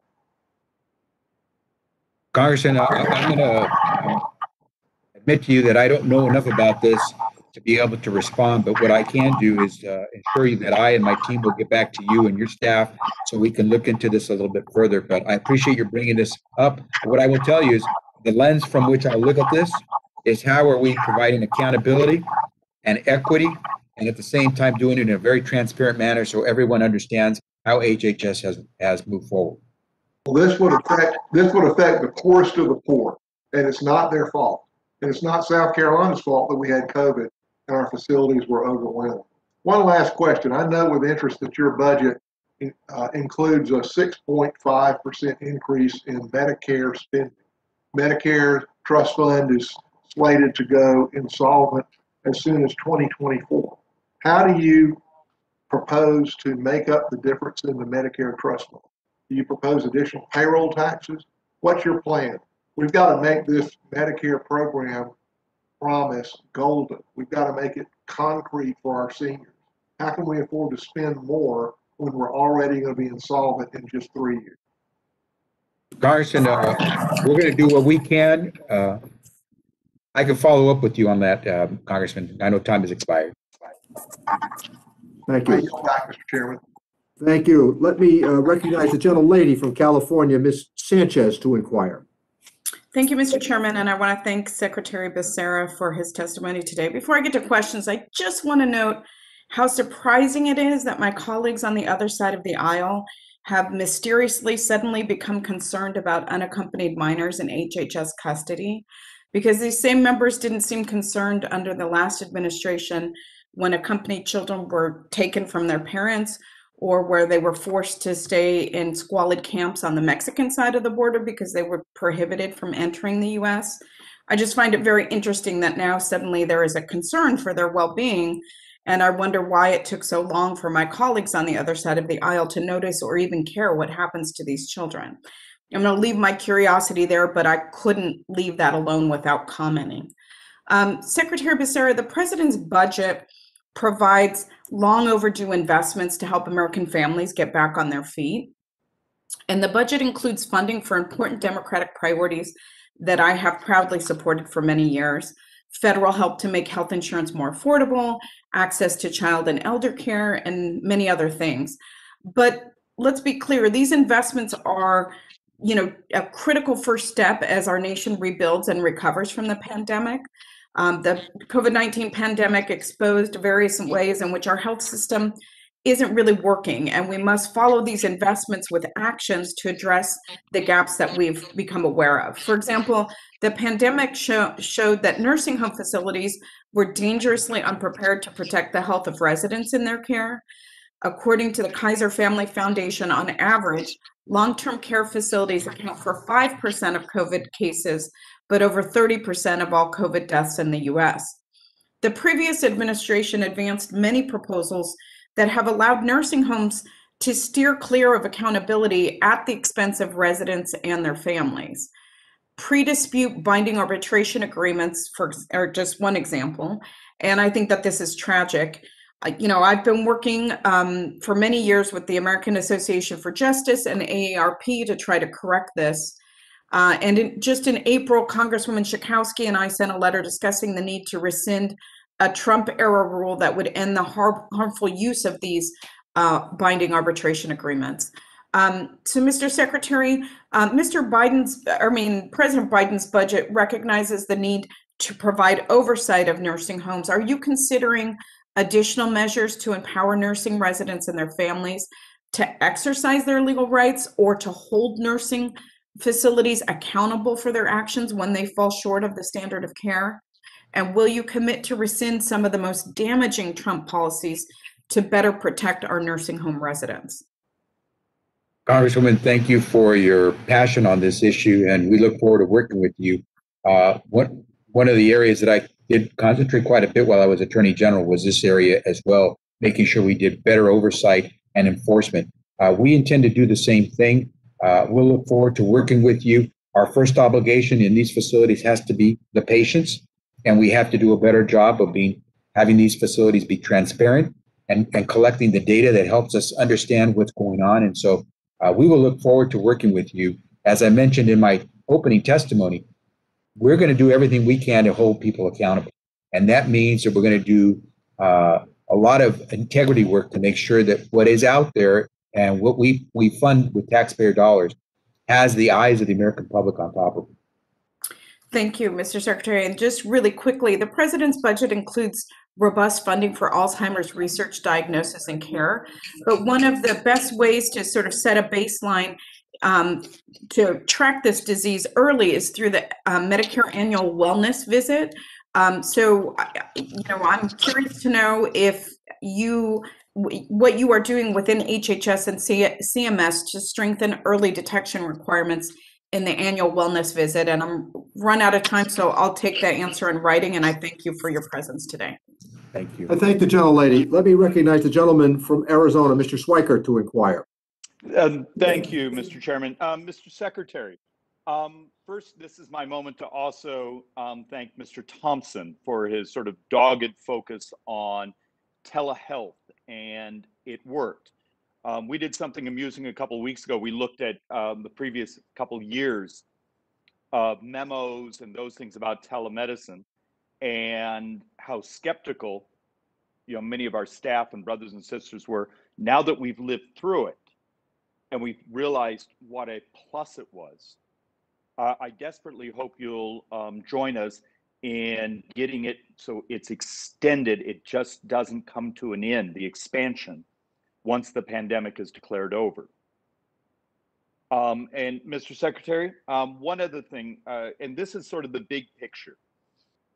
Um, both in reading your budget over the weekend, but just even our own conversation we're having today, many of us talk about healthcare and affordability in a light of who gets subsidized, who does not get subsidized, instead of what we pay. Um, and I will beg of you, start thinking about what we pay because over the next 30 years, the 100 plus trillion dollars of US sovereign debt that will be on the books in today's dollars, 67% of that is just from Medicare. We need a revolution in what we pay. And something like diabetes is believed to be about 30% of that. I notice your budget, the president's budget, does have a fairly substantial plus up in spending for diabetes research. I believe you would find many of us on the Republican side are willing to step up and propose almost an Operation Warp Speed to disrupt and finally take on diabetes. Because if you look at health outcomes in rural America, in urban America, and you actually put the charts of bad outcomes from COVID, and you line them up also with the charts from diabetes, you'll find that comorbidity in many ways is responsible for much of the differential in health outcomes. Those are my pitches to you, Mr. Secretary. What do you have to say? Congressman, I think wise words with regard to diabetes, and uh, we should heed the call to try to do a better job of addressing some of these chronic illnesses that lead to death so quickly. Uh, and I agree, uh, COVID exposed what we knew about diabetes that it can kill, and it can kill quickly. Can I just say on, on uh, telehealth, uh, absolutely agree that we're gonna we're gonna move forward with what we learned from COVID. I would only I, I don't add two words, uh, access because you have to have, make sure everyone has access, not just some parts of the uh, of the of the country, not just some rural areas, but you have to make sure that broadband extends everywhere so everyone has access. And the second thing is accountability. As as we go, let let folks do provide care uh, further and further from the source. We just want to make sure it's accountable because taxpayer money, whether through Medicare or Medicaid, is in there. We have to make sure we're getting the value for our dollar. Mr. Secretary, I may I encourage you and your staff to look at one or two things. One, every inch of North America now has broadband. It's called low Earth satellites. For being from Arizona, as you would know, being from the West, you know, my rural, my Native American populations in the middle of nowhere where it would be irrational to run a line of fiber or copper. Now, with a small satellite dish, they have broadband. We need to start thinking in terms of this century. The second thing is the ability to audit monitor telehealth. And telehealth is more than FaceTime with a doctor. Telehealth is also the sensors I can wear on my body that monitor and help us keep healthy. I believe we could crash the cost of healthcare if we're willing to be disruptive technology. Thank you, Mr. Chairman. Thank the gentleman. Let me recognize the gentleman from New York, Mr. Higgins, who is required. Uh, thank you, Mr. Chairman. Secretary, thank you for being here. Um, I just want to uh, recognize how far we've come in the past 15 months. Last year at this time, the United States was the world leader in COVID-19 deaths. Um, today, we're the world leader in vaccination distribution and administration. 42% of Americans are fully vaccinated. That is an incredible, incredible uh, accomplishment over a very short period of time. The science for these vaccines came from scientists within the National Institutes of Health and in BARDA, the Biomedical Advanced Research Development Authority, Mr. Secretary, that comes under your uh, jurisdiction. Again, an incredible, an incredible accomplishment. The messenger RNA is the stuff that converts DNA to proteins. Proteins are the active ingredient in the vaccines. Moderna stock is up 10% today, one of the manufacturers of the vaccine. Uh, Moderna's pre COVID share price was $21 a share. Today it's $209 a share. Uh, Moderna, uh, pre COVID, was valued at about $6 billion. Today they're valued at $32 billion and projected to be a $100 billion company within the next 48 months. There is a 1980s law uh, that keeps the government from sharing in the commercial success of the taxpayer funded research that made these vaccines possible. And my question is, you know, given the United States government's investment of $11.5 billion into vaccine development in all of the years of research that predated the actual manufacturing of them, don't you think it's time that the US taxpayer share in some way beyond the public good that it does, but share in the financial success that would not have been possible without the research, which is very expensive and not profitable, uh, financed by the American taxpayers? Congressman, first, good to see you. Always good to see you. Uh, secondly, you ask a really telling question. Uh, and it's not one that I think in less than five minutes or in, even in a hearing we'll be able to answer. But it is true. The taxpayers made major investments to make it possible for all of us, including people around the world, to have a life saving vaccine. And I, I, think, one, it speaks to the innovation and the, the prowess of America. Two, it also speaks to our generosity. But three, it also speaks to where we need to go. You, as policymaker, me as ex, uh, executor now of the policy, uh, to make sure that we're ready for the next pandemic. We're ready to provide the next uh, generation of medicines. I am more than willing to engage that conversation because we're going to count on our taxpayers to help make this work. And at the same time, our taxpayers expect us to be accountable so that they know that it's worth an investment. They have the confidence to continue to pay their taxes to make the kind of investments that have made America so strong. So I look forward to having that conversation. But you, you pose a, a really important uh, question. And just finally, uh, Mr. Secretary, um, I represent communities along the U.S. Canadian border, and we need to get more vaccines into Canada uh, so that we can get that U.S. Canadian border open. Just that doesn't require a comment from you, but I just want to make very clear every opportunity I get to talk to somebody from the administration, I have to convey that message. So thank you very much, sir. Thank you. And I just add that I just recently had conversations with Health Minister Hajdu on some of these subjects from Health Minister from Canada. So we look forward to working with him. Thank you. Thank the gentleman. Let me recognize the gentlelady from Indiana, Ms. Walorski, to inquire. Uh, thank you, Mr. Chairman, and thank you, Secretary Becerra, for joining us today.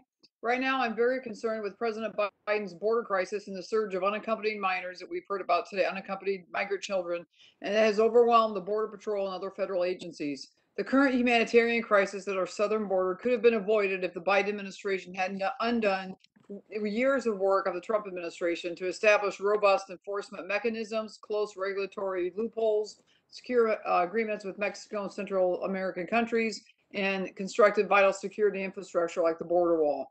The previous administration's approach was an innovative and well coordinated effort between federal and foreign agencies and foreign governments. Mr. Chairman, I'd like to ask unanimous consent to enter into the record an article from the National Review entitled How Trump Got Control of the Border.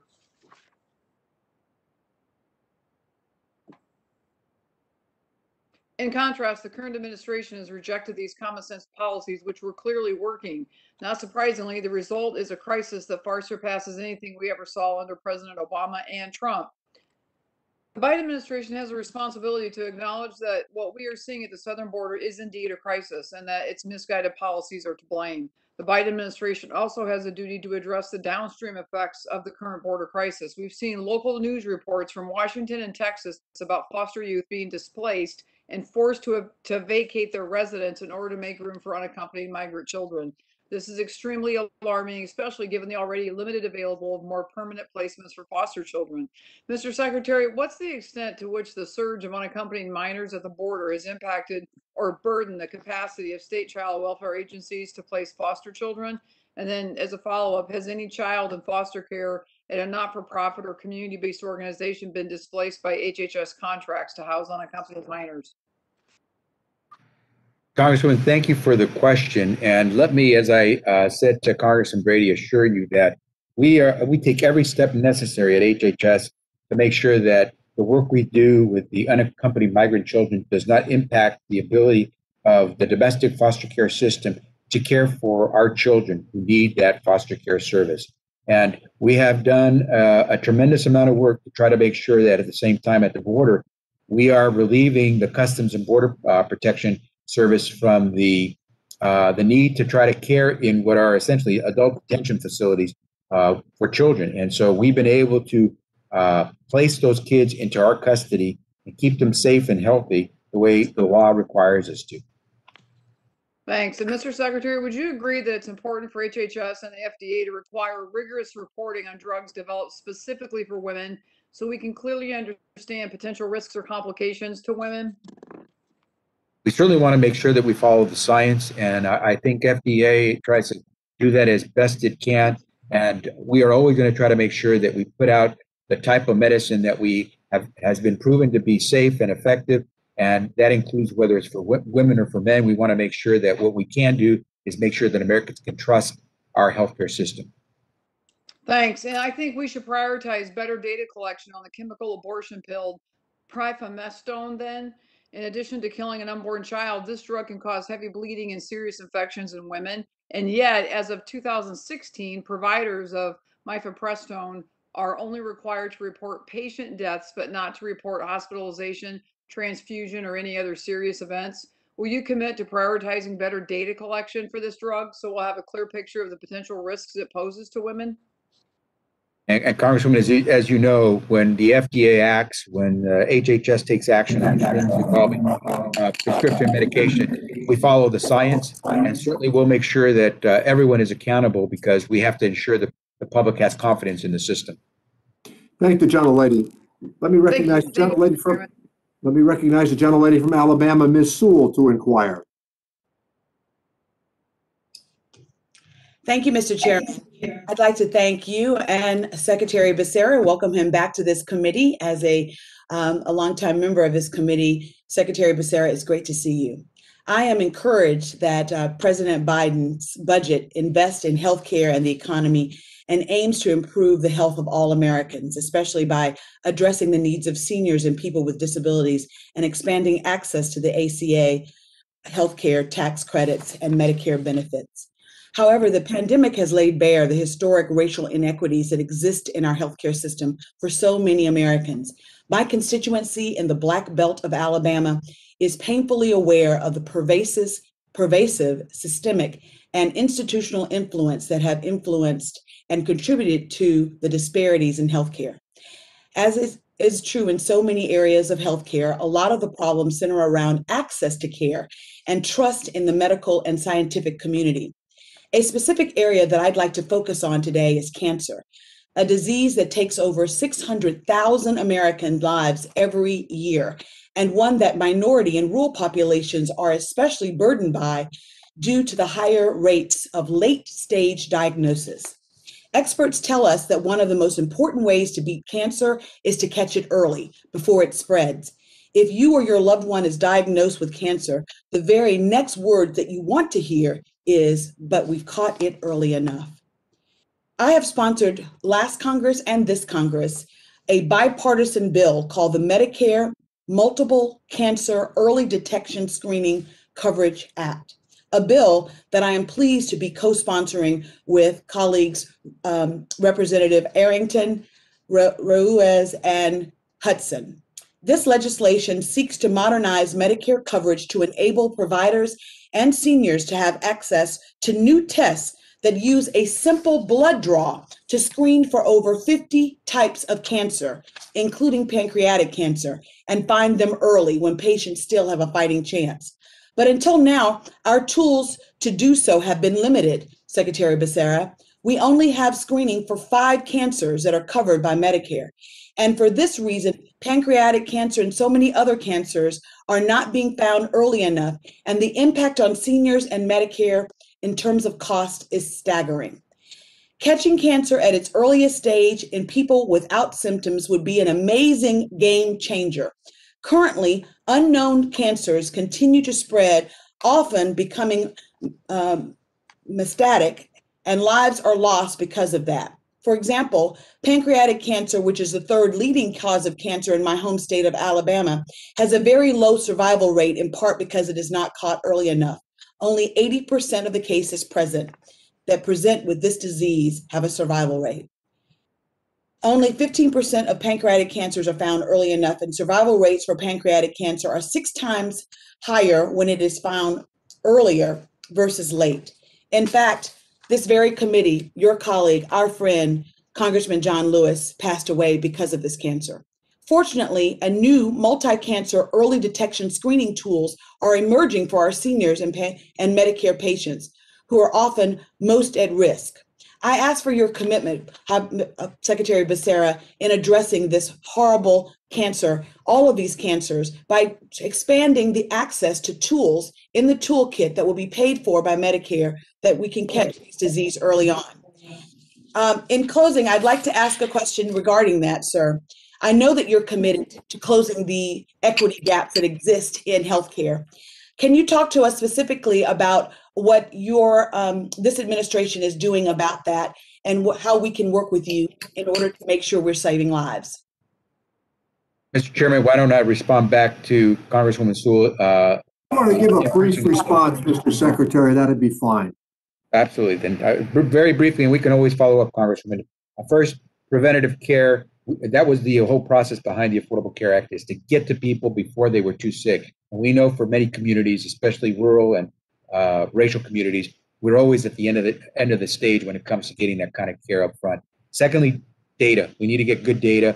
And third, learn from the lessons of COVID that we got to do a better job of reaching those corners of America that are left behind. But we can follow up. Thank you, Mr. Chairman. And thank, thank you, Mr. Chairman. Thank the gentlelady. Let me recognize the gentleman from Ohio, Dr. Wenstrup to inquire. Well, thank you, Mr. Chairman. Thank you, Mr. Secretary. Uh, pleasure to be with you today. Uh, you know, healthcare, uh, I'm a physician. Healthcare is and should be a national priority. I'm encouraged to hear you talk about finding the origins of COVID, identifying that. I served on our Board of Health in Cincinnati, and you're exactly right. We can't address these types of issues if we don't get to the bottom. Um, going to the border quickly, I when I visited there back in April, we saw many coming in with lice, scabies, meningitis, chickenpox, flu, and of course, COVID 19. And uh, I think that this is a very serious concern that we have for the health of America when this is coming in. So I do want to work with you. I'm con- encouraged by your concern, uh, but let's let's work towards a, a healthy legal immigration policy that uh, is best for everyone. Want to go to next to drug pricing, and we you know we need to address the the cost of drugs in the United States. It's important for our patients, and I think there's bipartisan room here. And I believe that uh, foreign price controls will not leave room for the next set of cures. And so we have that balance between innovation and and then cost at the end of the day. Let's lead the let's lead the world on on both of those things. Um, I know there's a lot of things we can work together on. I always talk about the health span of America. You just kind of touched on it there a little bit. Uh, it, we we we always take a look at lifespan, but what about the health span of Americans? Prevention and cures are often looked at as a cost, and that's on the short term. But we don't often look at what we save in the long term when we do this. And it sounds like you're on board with that. I do want you to be aware that we have a rural and underserved healthcare task force that the chairman uh, put together, and it includes Representative Arrington, Sewell, Davis, and and me. And I look forward to working with you to address the health disparities in these communities. Uh, and you sound eager to want to engage in those. So I appreciate that. Uh, substance abuse, we can't uh, ignore that. It's a problem. If you've read the book Dreamland, uh, that's my district on the cover. If you haven't read it, I recommend it uh, to your attention. I'm proud of the work we've done on surprise billing. Let's make sure it gets gets done right. And I will say this to it as a physician, there's no part of me that doesn't want Americans to have access to, to health care. Uh, that's ob- obviously extremely important. You know, we talk about Medicaid. I'm proud to live in a country that has a safety net like that, that is there for people so that we can maintain some health for those that have trouble affording it and for other reasons. But the statistics have showed that that particular plan has the highest mortality and morbidity of any in the country. And, you know, I think we're better if we start to look at solutions to how fewer Americans need the Medicaid program, because the fewer that are on it, then the better it is for those that are still in it. That's uh, more of that. We want more of the best care for more Americans. So I'd like to continue to work with you on those issues. So I threw out a lot there, but I really do look forward to working with you. And I and I'm asking you one question: Will you commit to work with Congress and in particularly members of Congress that uh, have medical backgrounds? Uh, we met many times, our doctors caucus, we met many times with Secretary Azar, and it was very productive. And I think we could probably do the same with you. And so I'm hoping that as you work through payment rules and other issues that impact our healthcare providers and more so our patients, that uh, you'd be able to spend some time with us as we've uh, had boots on the ground, so to speak. Congressman, you put a lot out there, but I certainly am looking forward to working with you and uh, uh, working with you from the vantage point of a, a physician. Your experiences uh, are going to be immensely important and helpful to us. So absolutely look forward to working with you and your colleagues. Thank you so much. Thank the gentleman. Uh, Consistent with committee practice, we will now move to a two to one questioning ratio, beginning with the gentlelady from Washington, Ms. DelBene. Thank you, Mr. Chairman, and thank you so much, Mr. Secretary, for being with us. It's great to see you. Um, and um, thank you for the work that you and your staff have been doing already on so many important issues and for preparing uh, this very forward-looking budget proposal. Um, I'm particularly pleased by the inclusion of KidneyX. Um, KidneyX is a public-private partnership that was established to accelerate innovation in the prevention, diagnosis, and treatment of kidney diseases. More than 37 million Americans are living with kidney diseases, and nearly 800,000 suffer from kidney failure, which is an incurable disease which requires dialysis every few days to stay alive, and it's only cured by kidney transplant. Um, kidney disease can be extremely debilitating, causing patients to leave the workforce or die prematurely. And the cost to Medicare is substantial. Nearly a quarter of all traditional Medicare spending is on kidney disease management. But sadly, kidney disease disproportionately affects communities of color. Black Americans comprise 13% of the US population, but represent 33% of Americans living on dialysis, which is just one striking example of the health disparities in our country. And since roughly half of all patients who were hospitalized from COVID 19 suffered kidney damage, we can expect these figures to worsen. Um, when KidneyX was conceived, there was an expectation of $125 million from the private sector and $125 million from the federal government. And given the remarkable success of this public private partnership in its first two years, running for prize competitions in which winning innovators in 44 congressional districts tackled long unmet kidney patient needs and made inroads to an artificial kidney, um, what kind of increased commitment can we expect from the administration in the coming years? Um, the private sector, which has been led by the American Society of Nephrology, has already committed matching funds of 25 million annually to KidneyX, and I hope we can count on you and um, the administration to help match that commitment. Congresswoman, great to see you. And I know in our budget, we do include some uh, funding for the Kidney Inno- Innovation Accelerator. Uh, I don't have the amount. We can try to get that to you later, but we do make a commitment uh, to continue KidneyX because you just mentioned the reasons. Uh, it's it's so important that we try to address these these types of conditions as quickly and early as possible. And as you mentioned, oftentimes uh, this disproportionately impacts communities of color. And so look for very much look forward to to working with you on this. When I have a chance to visit your great state, maybe run into your husband Kurt again, as I did the other day. Uh, we'll have opportunities to discuss any number of these issues. Thank you. Um, also, um, everyone uh, knows that we have so many areas of healthcare policy where there are opportunities to do better, and one key area is prior authorization in Medicare Advantage. Um, I've partnered with Congressman Kelly. Um, we have garnered overwhelming bipartisan support to make prior authorization fully electronic and streamlined. Um, patients need care right away. This is critically important that we have a system that works. And um, also look forward to working with you to help us improve prior authorization for our providers and our seniors who right now face unnecessary delays in care. So look forward to working with you on that as well. Absolutely look forward to working with you. Thank you, Mr. Secretary. I yield back, Mr. Chairman. Thank the gentlelady. Let me recognize the gentlelady from California, Ms. Chu, to inquire. Secretary Becerra, it's so wonderful to have you back with the committee today and always a pleasure to see a fellow Southern Californian. As California's Attorney General, you led an amicus brief to defend the human rights of children in immigration detention as established by the Flores Settlement Agreement.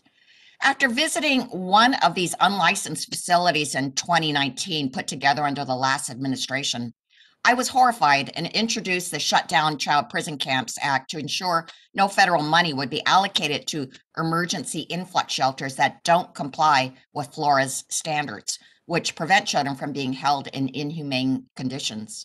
How will you ensure all policies related to the care and custody of unaccompanied minors are compliant with these standards and that these standards are the minimum to which children will be treated by your department? Congressman, thank you for your work on this. Great to see you and uh, to continue to work with you now in this position. And I, I, think if you've had a chance to visit some of the sites that we have stood up, you'll see that uh, not only do we care about following the law, but we, we treat these kids as what they are, children, and we're going to provide them with the health and safety that is expected. Uh, it is not easy. It is a challenge. It is not inexpensive, but we believe we have an obligation to do it right. You know, there are a couple of sites there local to you uh, in Long Beach and in Pomona. And uh, if you have a chance to see those sites, you'll you'll see something very, very interesting. In Long Beach, we were told this was about a month ago when I was there. Some seventy thousand uh, toys and gifts had been donated by folks in the community in Southern California for these kids. Obviously, we don't have 70,000 kids in the Long Beach site. That made it possible for us to be able to send some of those toys and new toys, new books to other children throughout the country where we have these sites. And so I think we look at this very, very importantly as something that we need to do because these are kids. Thank you. And I did visit the Pomona site, and it was very, very impressive and so different uh, in, from the last administrations. Secretary Becerra, thank you, and President Biden for offering a budget without the harmful and discriminatory Hyde Amendment. I also want to thank you for highlighting the importance of the Title X Family Planning Program in your testimony. Um, after years of President Trump's harmful domestic gag rule, I believe we have to swiftly implement the new Biden administration rule once finalized to bring providers back into the program and provide quality family planning care to their patients. So, can you discuss how you re- plan to rebuild this program as soon as possible, including by administering the additional funding that Congress provided Title X providers in the American Rescue Plan? How can we in Congress be helpful to you in this effort to ensure that more low income Americans have access to this vital and successful program? Congressman, uh, Congresswoman, as you know, uh, Title X is one of the crucial programs to make sure that we provide access to care to many families that otherwise would go without it. And so we intend to try to move as quickly as we can to provide access to family planning services, which, by the way, are not just services for women. Uh, men, uh, children uh, receive services through the Title X funding that's provided at the federal level. In California, as you know, uh, we rely on a lot of our uh, third parties to help make those programs work. And what we're going to do is work as closely as we can to make sure that, according to the law, we're providing services under Title X to anyone who needs those family planning uh, services up front. Thank you. And let me just say a word for um, disaggregation of data for Asian Pacific Islanders. At the beginning of the pandemic, AAPIs were lumped into the other category on the CDC website, uh, and that prevented us from knowing very crucial information. So I just urge you to continue to disaggregate data. I thank the gentlelady. Let me recognize the gentleman from Nebraska, Mr. Smith, to inquire. Thank you, Mr. Chairman. Thank you, Mr. Secretary, for your appearance here today. Um, I, I, uh, I do want to kind of reflect on how, uh, you know, the CARES Act came about at the beginning of the pandemic done on a very bipartisan basis. And Operation Warp Speed was done uh, on a bipartisan basis. And, you know, I'll, I'll, be very direct with you and tell you I'm, I'm concerned that things are being done uh, without uh, a spirit of, of negotiation uh, and compromise. Uh, more specifically, um, I want to talk about the, the CMMI, Center for Medicare and Medicaid Innovation. And my underlying concern is that providers and patients uh, aren't able to give the feedback or for feedback to be received. Perhaps it can be given, I'm, I'm not sure uh, it is, is being uh, as received as, as I think it can and should be. Uh, we've worked on a bipartisan basis on, on, on, the committee here and, and beyond um, to, to move this forward in a way that that can really move us toward value-based healthcare uh, that I think is uh, supported uh, on, both sides, or shall we say on all sides. Um, the al alternative payment models, uh, there, there's concern that the election uh, stood in the way there and, and, and now um, things are being disregarded and uh, overall we're just kind of the the uh, alternative payment model situation is getting set aside is my fear. And so I was wondering if you had uh, an update on that, uh, perhaps CMMI in general, even uh, of where you think we are headed there and where we might be able to work together. Congressman, thank you for the question. Uh, CMMI quite honestly, I think CMMI is at the cutting edge and lets us know how to deal with healthcare moving forward, not only in terms of better health, but better costs when it comes to healthcare. So, uh, if there are some questions or any comments or concerns that folks want to raise, I hope they will because CMI is a small shop, but it does really important work. And I hope what we can say is that we're proceeding uh, on a bipartisan basis when it comes to the work of innovation because no one has the corners of market when it comes to innovation. We, we, there are a whole bunch of innovators out there that care less what our politics are. They just want to get something out there in practice. And so I look forward to working with you on that. Uh, I think uh, President Biden has made it very clear. In fact, as his he's talking about negotiating on the Americans' job, American jobs, and American family plans. He's he's trying to see where we can work something out to move forward with infrastructure investments and sort. But I look forward to working with you and and all of your colleagues on both sides of the aisle, especially on something like C- CMMI, because I think we'll both, we can both agree that CMMI is one of those incubators of good ideas. Yeah, yeah. well, I appreciate that. Um, on another uh, brief topic here, telehealth. You know, we, we have some telehealth measures that are due to expire uh, at the end of the pandemic. Um, I was wondering if you could touch briefly or, or just to acknowledge uh, perhaps a desire to to utilize telehealth more, or at least continue what we have uh, been able to achieve uh, throughout the pandemic. I mean, this is an issue that I worked on even before the, the pandemic, have, you know, representing a very rural constituency. And obviously, we have reasons more than rural now uh, to to utilize telehealth. Uh, so I, I was wondering if you could reflect briefly on on telehealth.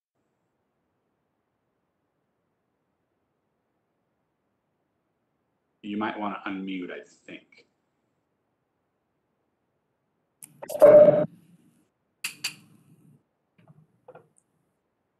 Looks like you're muted on, on Mr. Secretary, it looks like you're muted. There we go. There we go. Uh, Brief answer, Secretary, on telehealth. Okay, here, here, there you go, I apologize. Absolutely, as I mentioned, telehealth is critical. And we will do everything we can to try to implement some of the things that we learned as a result of, of COVID. Are you getting the echo that I'm receiving? I, I do hear some feedback, but I think you're better. Go ahead. Well, we look forward to working with you on that because that's crucial. Telehealth has proven itself a true value. Uh, we just have to make sure that we can provide it equitably and that we have accountability in its use so that we can uh, assure the American public that the money is being well used. You bet. You bet. Thank you very much. I yield back. Thank you. Uh, Let me recognize the gentle lady from uh, Wisconsin, Ms. Moore, to inquire. Thank you so much, Mr. Chairman, Ranking Member, all of my fellow uh, colleagues on the Ways and Means Committee. And Mr. Secretary, I predicted that you'd be back here. You just can't lay in the sun and on the beach forever. Um, and at a time like this, you are really, really needed. Welcome back uh, to Washington. Uh, so many questions, so little time. Um, let me just say that I gave up years of seniority to get on this committee, primarily to deal with uh, the, the problem of a permanent underclass that we've created, uh, comprising mostly women uh, who are under the TANF program. And the minute they earn two cents over the minimum wage, they they lose child care, they lose help. They are the primary um, employees uh, in a low wage economy of restaurant workers, $2.18 an hour, healthcare workers, uh, CNAs, and so on. Um, and so you have committed a billion dollars toward uh, an emergency uh, relief for this uh, group of folk, and then another $100 million to make sure that uh, people of color are not overrepresented in welfare programs. So, number one, I am curious about how that money is being spent. And secondly, I'm curious about what have you we learned in terms of time limits, in terms of requiring people, you know, time limits in a in a, a you know counter cyclical economy uh, and um, um, that we might inform us as we um, reauthorize or end welfare as we know it. And then um, sort of a going out of the door question, where is the beef? Um, I, um, um, I am so happy to see that the administration is committed $400 million to the problems of maternal uh, uh, morbidity and ma- maternal uh, uh, fatalities. Um, and um, but I am wondering, um, it, I'm hoping to work with you to make sure that there's some meat on these bones. I have a proposal. Uh, we know we have the momnibus, but I also have a proposal, Mamas First, to make sure that Medicaid pays for doulas and midwives and people who are really uh, expanding the healthcare workforce to prevent some of these deaths. Also, signed into law under the former administration is a scarlet sunshine on sudden unexpected death. You know, leading cause of infant deaths, Um, but uh, we need to know. I'm work. I want to work with you to make sure we actually fund it now that it's law. It would it would provide it research and best practices on how to prevent the so-called SIDS deaths. And so I will yield to you for your response, Mr. Secretary. Congresswoman, great to be with you. I will say to you two things. One, we need to help those who are in most need. And whether it's the fund that was made available to, to for those TANF recipients, uh, we're going to try to do the best we can to make sure that they recover from COVID as best possible. We look forward to working with you because most of those funds still have to be drawn down. Uh, on the second issue on maternal mortality and morbidity, you know this well. It is communities of color that suffer the most, including in the Black community, where you see this really impacting so many women. Uh, we have done what we can to try to make it clear states should sign on to help us. One of the things that we've done is provided through the through Medicaid a program that allows women to receive uh, postpartum care more for more than just 60 days, but for a full year. And so we hope that they'll take advantage of that. I thank the gentlelady. Let me recognize the gentleman from Michigan, Mr. Kildee, to inquire. Uh, Thank you, Mr. Chairman and Mr. Secretary. It's uh, always good to see you. I never had the chance to serve with you on this committee, uh, but we served together, and I'm happy to see my friend. Uh, Also, I'm, I'm really pleased to see the new HHS initiative, the Low Income Housing Water Assistance Program, which will make funding available to help low-income families afford something as simple as their water bill. Uh, as you know, I've been advocating for a program like this for many years. You uh, were right there with me fighting for the people of my hometown uh, when it was in a water crisis. Access to clean drinking water is fundamentally uh, a basic human right. Uh, some of the poorest communities in America pay the highest water rates. For example, uh, just a few years ago, it was found that on average, uh, residents in my hometown of Flint paid almost $900 a year for water service, many paying more than $1,000 a year, many several hundred dollars a month. A lot of communities facing systemic issues, job loss, population loss, failing infrastructure, have had to increase water rates, shifting the burden again to some of the poorest ratepayers uh, in the country. And so I commend the HHS uh, for moving forward on this important effort. And I'm just curious if you can share with us, either now or uh, in writing, what HHS is doing. That funding will be made available as soon as possible to places, Saginaw Bay City, but also other places around the country where this is a really serious issue. Congressman, great first to see you and um, waiting for you to take that seat behind you uh, in front of those drums. Uh, maybe later. Uh, what I will tell you is that we have, I believe, the, the initial round of funding has gone out. I think last week about 160 million dollars.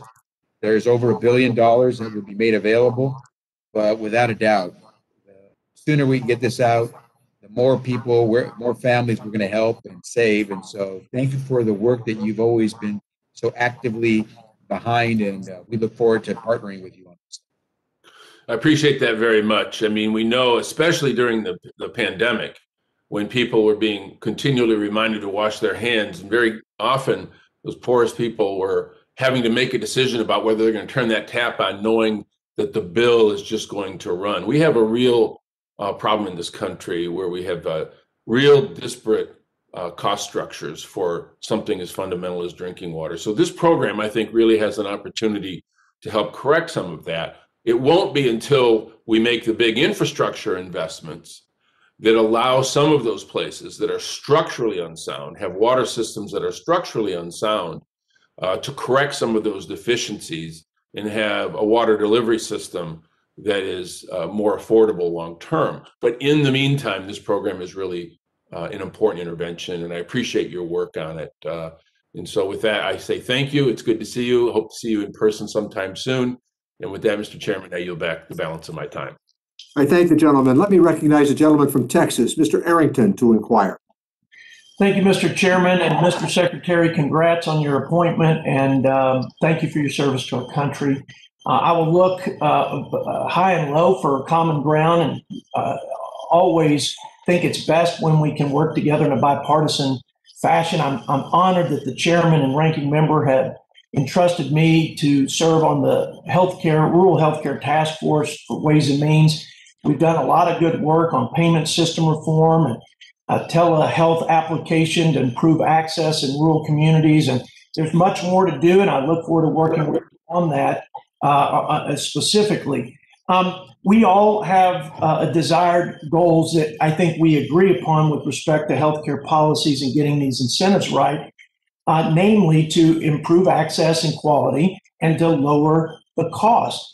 I would say that uh, Obamacare was an abject failure on all of the on, on every front in that regard. I mean, it doubled the cost of care. People literally millions paid a fine to get out of the program, and the ones that stayed in it had very little choice. And so I think doubling down on the experiment in government controlled healthcare is a real uh, disaster exponential. And uh, I, I do think it also expanding or, or, or, or making permanent the temporary waivers um, is a problem, especially when you you take away the the the uh, percentage of poverty level and below whereby people receive subsidized care. So now people making millions can get subsidized care. I, I think that's wrongheaded and irresponsible.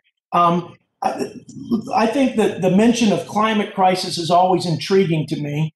Um, I think we all just, I have a different opinion and, and definition of crisis. Uh, I do believe in stewarding the environment for sure. Um, but I think if you ask seniors, for example, if they thought the climate change was their crisis, or in five years, Medicare being insolvent was a crisis, I'd say that the latter scares uh, them a whole lot more. And I see no plan to, to fix it. I, I, I see only a, an acceleration of the insolvency by expanding Medicare to 60 to 65. Now, on the topic of crisis, I know I haven't heard a lot of admission that there's a crisis at the border in the administration. And I'm not trying to play get, you know, uh, uh, a gotcha here, but if you go to the Texas border, um, you will find out that there is just absolute chaos and there are threats to Americans on many fronts, not the least of which is the spread of COVID coming across the border. This administration kept Title 42, for which I'm grateful, but it only partially implements it. That is, it, it differentiates between a single adult and a child and, or somebody that's part of a family. They're all hosts. They all are create a threat of bringing COVID, spreading it, inundating our system, and having a surge that could uh, not only put us in a bad way, but could actually kill American people. So, Mr. Secretary, would you address Title 42 and why that differentiation and why not just fully enforce it during this uh, pandemic and recovery? And I yield all the rest of the time to you. And I thank you again for your service to our country. Congressman, thank you for the question. What I can tell you is that Title 42 is based on the actions by CDC based on the science. And so the administration moves on Title 42 based on the recommendations made by CDC. The implementation then impacts not just HHS, but Department of Homeland Securities and others as well. What I can say to you is that uh, we use the best judgment we can based on the science take actions. I can try to respond further in the future.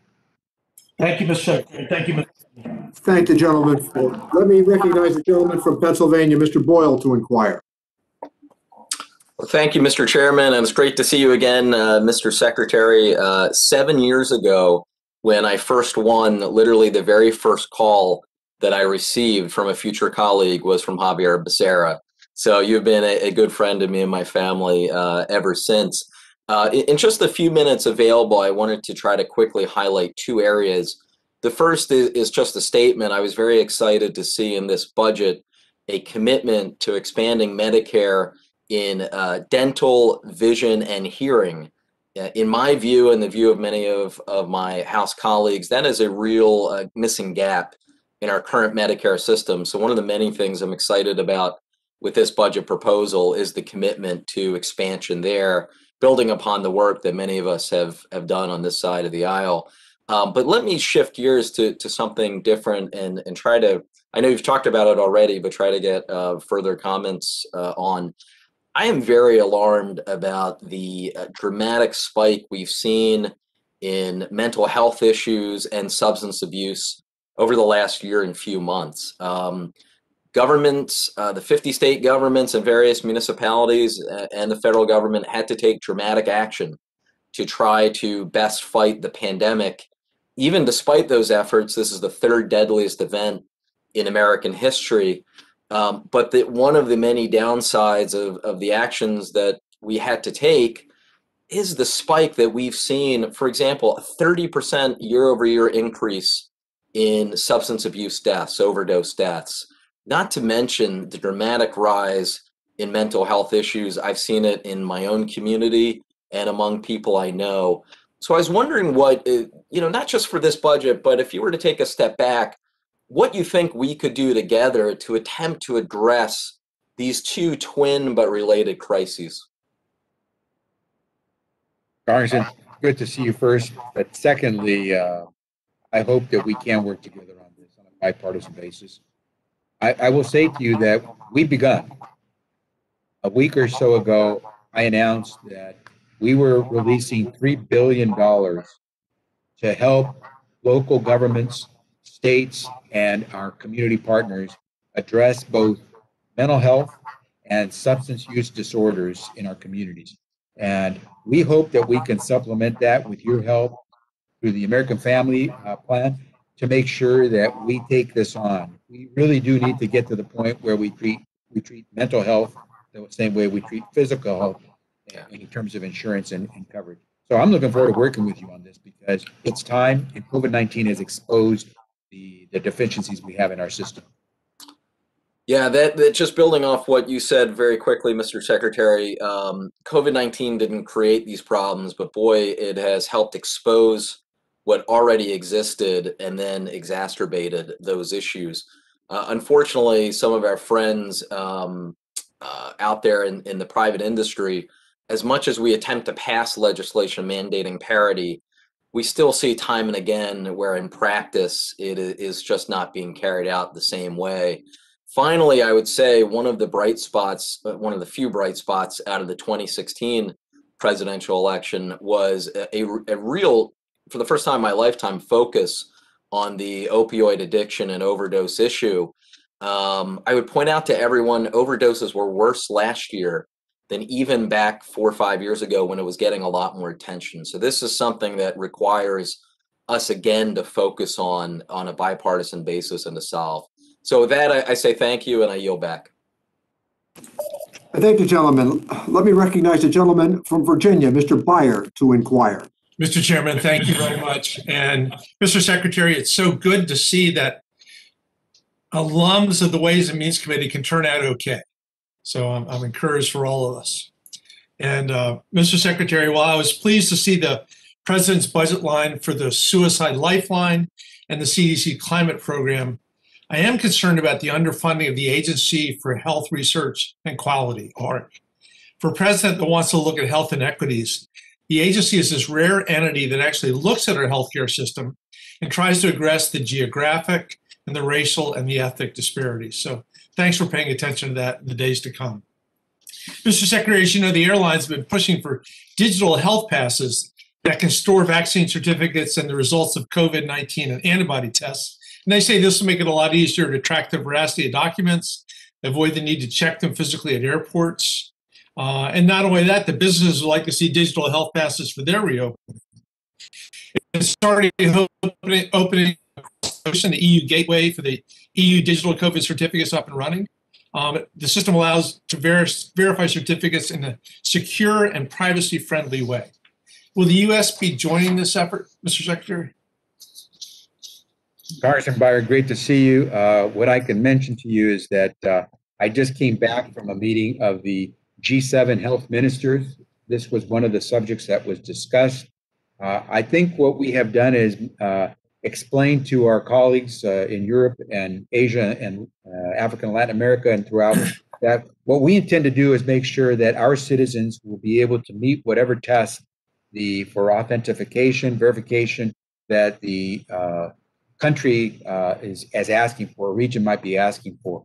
Although I think here in this country, we've taken the approach that working with our private sector, we will try to make sure that uh, we leave it to our local communities to decide what will what will be done to try to ensure the safety of all Americans as we move forward. And so we believe that we'll have a solution that uh, speaks to the acceptance of a method of verifying that will be uh, useful for any American who wishes to travel to another, to another country and for those wishing to come into the U.S. Great, thank you. You know, at the beginning of the pandemic, Ireland sent a pamphlet to all its citizens explaining COVID with, with the stoplight system, you know, the red, yellow, green, uh, the kinds of colored rank risk that we use for air pollution or forest fires. And but I'm amazed that you know most Americans were looking at Bloomberg or the New York Times or the COVID tracking project um, for data rather than the CDC. And now there's this great site called COVID Act Now. I was just on it this morning.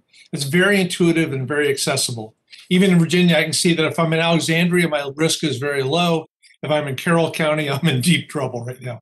Uh, it'd be a great thing for the CDC to model so that we're turning not necessarily to a, a nonprofit, but to the CDC to get that kind of data. And I recommend this COVID Act Now website for your information.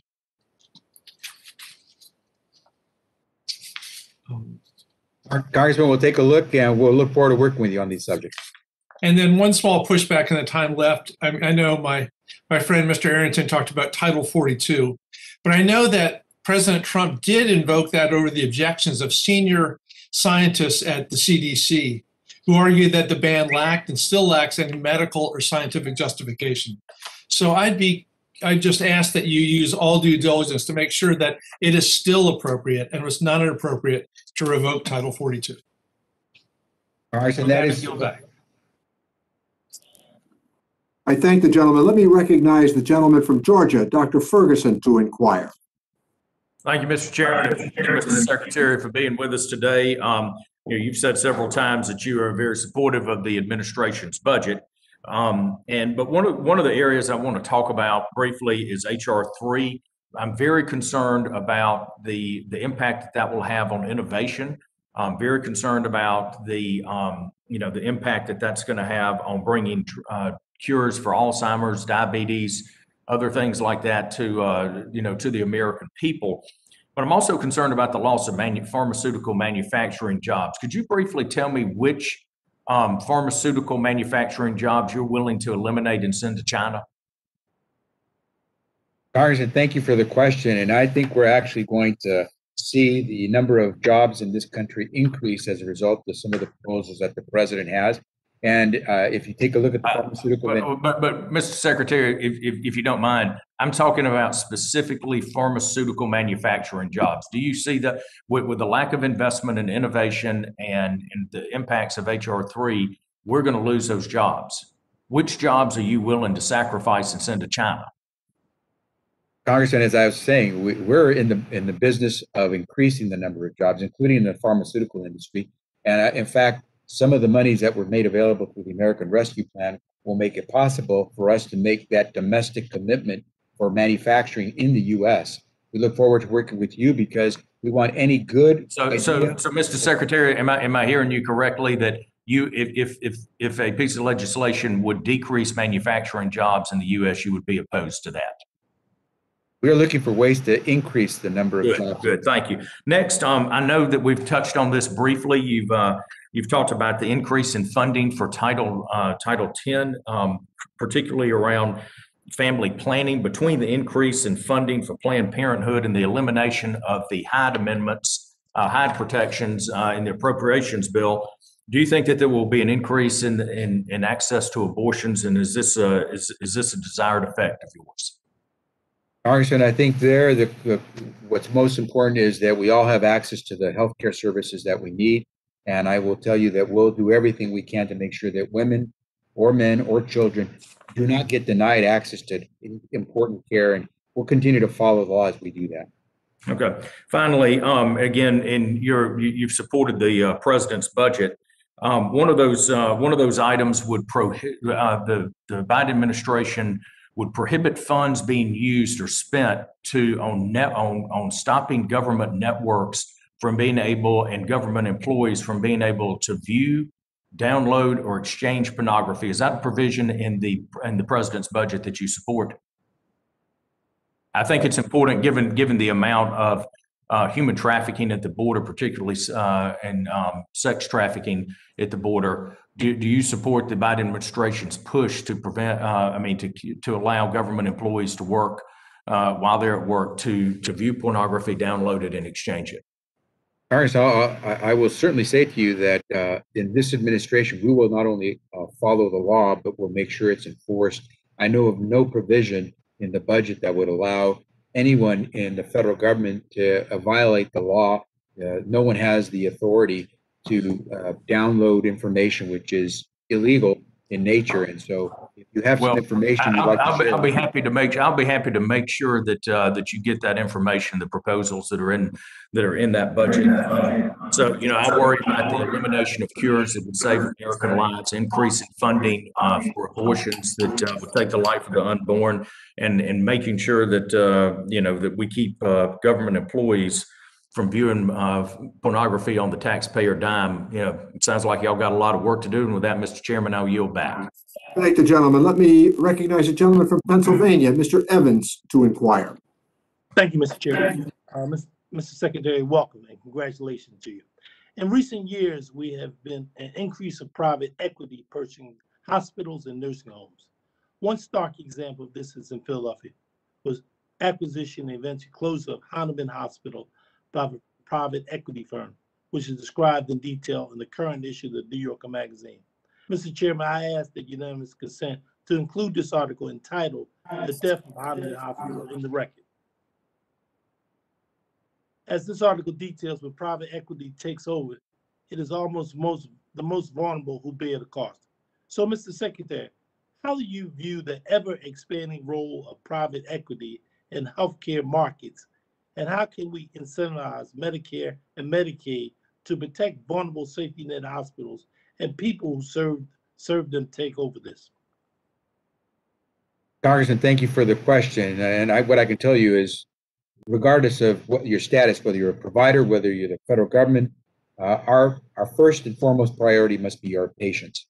And for that reason, it is important that every program that utilizes Medicare and Medicaid funding uh, follows federal health and safety standards. And so, when it comes to any uh, uh, federal faci- or any facility that uses federal funds, we're going to make sure that they're accountable. And we don't want to see them uh, taking advantage of safety net hospitals, uh, stripping them of their assets, and essentially leaving all those families behind. And so I look forward to working with you as Attorney General for the state of California.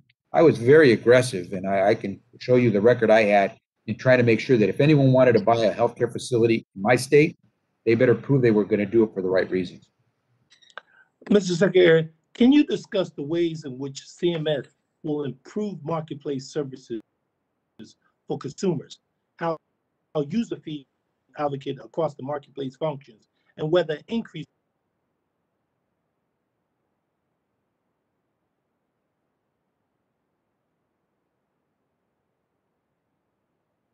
increase Is the gentleman muted?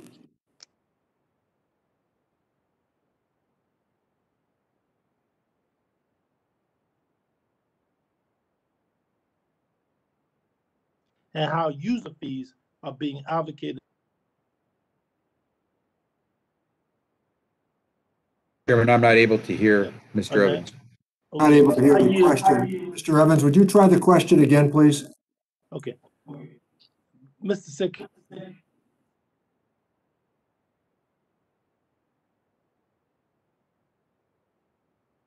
I think, Dwight, you're having some technical difficulties there, so what we'll do is we'll go to Brad Schneider and then we'll come back to you. okay, thank you. Mr. Schneider? Uh, Thank you, Mr. Chairman, and uh, thank you, Sec- Secretary Becerra, for coming before the committee today. It is quite wonderful to see you again. Our country is in the midst of a long and difficult recovery. Congress and the Biden administration have already made historic investments to improve our economy and our healthcare system. And at the same time, as you noted in your opening statement, we are not out of the woods yet. President Biden's budget builds on these achievements and provides the continued funding and planning needed to realize the goals of the American Rescue Plan. In particular, I want to thank your agency and the administration as a whole for not just your focus, but your and the administration's prioritization of supply chain management as it relates to pandemic preparedness. I take note of the White House release today of its key findings on Executive Order 14017, America's Supply Chains, and the suggested creation of the Supply Chain Disruptions Task Force. As you may know, I've introduced legislation to create an Office of Supply Chain Resiliency, and I look forward to working with you and the administration to further advance this idea. Along the same lines, I remember back almost exactly 16, 16 months ago when I asked your predecessor, Secretary, Secretary Azar, about our critical supply chains in the face of the looming pandemic. Unfortunately, my fears at that time were fully realized in the months uh, succeeding that, and our supply chains failed to deliver vital products, namely personal protective equipment and testing supplies, when our country needed them the most. Fortunately, since then, the Biden administration and Congress have made incredible progress in shoring up our supply chains. But we need continued planning and investment, not just for COVID, but for the next pandemic as well.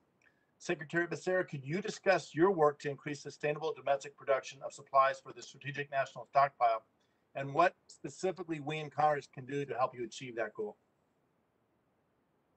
Congressman, great to see you and thank you for the question. This is an this is an important one because we saw what happens when you're not prepared. And the last thing we have to do is make the mistakes of the past. And so our budget invests uh, pretty dramatically in uh, trying to make sure that our stockpile is is fit for the 21st century. We're going to try to make sure that we have those uh, private and public partnerships that are essential to make this work. We can't just do this by ourselves as a federal government.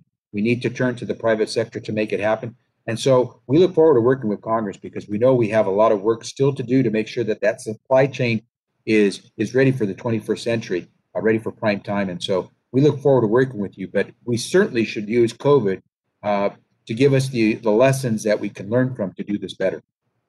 Great, and uh, thank you. And I, I look forward to continuing working on you with you on this. In particular, another bill that with Senator Durbin, I introduced the PPP in America Act, which would very specifically produce domestic uh, PPE, PPE and testing supply production and promote promote predictable, sustainable supply chains for this uh, strategic national stockpile. Uh, is that something that we can look to you um, to work together on? Look forward to working with you on that. Uh, thank you. And uh, in in the sake of time and, and uh, respecting your, your visit here, I appreciate you joining us and I yield my, the balance of my time back. I thank the gentleman. Let's return to Mr. Evans. Mr. Evans? Thank you, Mr. Chair. I recently in, reintroduced a bill called with iPods. I'm very pleased that President Biden's re- request proposed to work with Congress on HPods. I look forward to working together. Mr. Secretary, can you explain why it is important to continue to expand the program? Congressman, forgive me. Uh, uh, please uh, explain which program are we talking about? On HPods, the the Health Professional Opportunity Grant Program. Oh, I'm sorry. Oh, yes, the Health Professionals Opportunity Grant Program. Uh, listen, uh, here, if we're going to try to have the workforce and the healthcare system that we need for every community, we have to do what we can to expand those opportunities to make sure that our, our TANF recipients and other low-income individuals uh, with education and training uh, for occupations in the healthcare field can be out there for us. And so I, I think this is a way to make sure we're addressing not only our needs moving forward in terms of a workforce, but it's going to give opportunities to communities that oftentimes have been neglected. I thank you, Mr. Ch- uh, Mr. Secretary, for that. Appreciate that. Thank you, Mr. Chairman. You're back. Thank the gentleman. Let me recognize the gentleman from Kansas, Mr. Estes, to inquire. Well, thank you, Mr. Chairman, and, and thank you, Secretary Becerra, for uh, appearing before the committee. You know, instead of setting our nation on a path for fiscal stability, I have a concern that this wasteful $6 trillion budget, which is the largest in our nation's history, would set us on a course for higher spending, more taxes, and runaway debt. It increases non-defense spending by 16% and puts the annual deficit at an average of $1.3 trillion per year for the next decade, doubling the national debt over the next 10 years. Results the debt owed by each American raising by 50% to around $120,000. I used to say that our children and grandchildren will be paying for our current lifestyle, But unfortunately, it's now going to be our great grandchildren that will bear the brunt of Washington's out of control spending.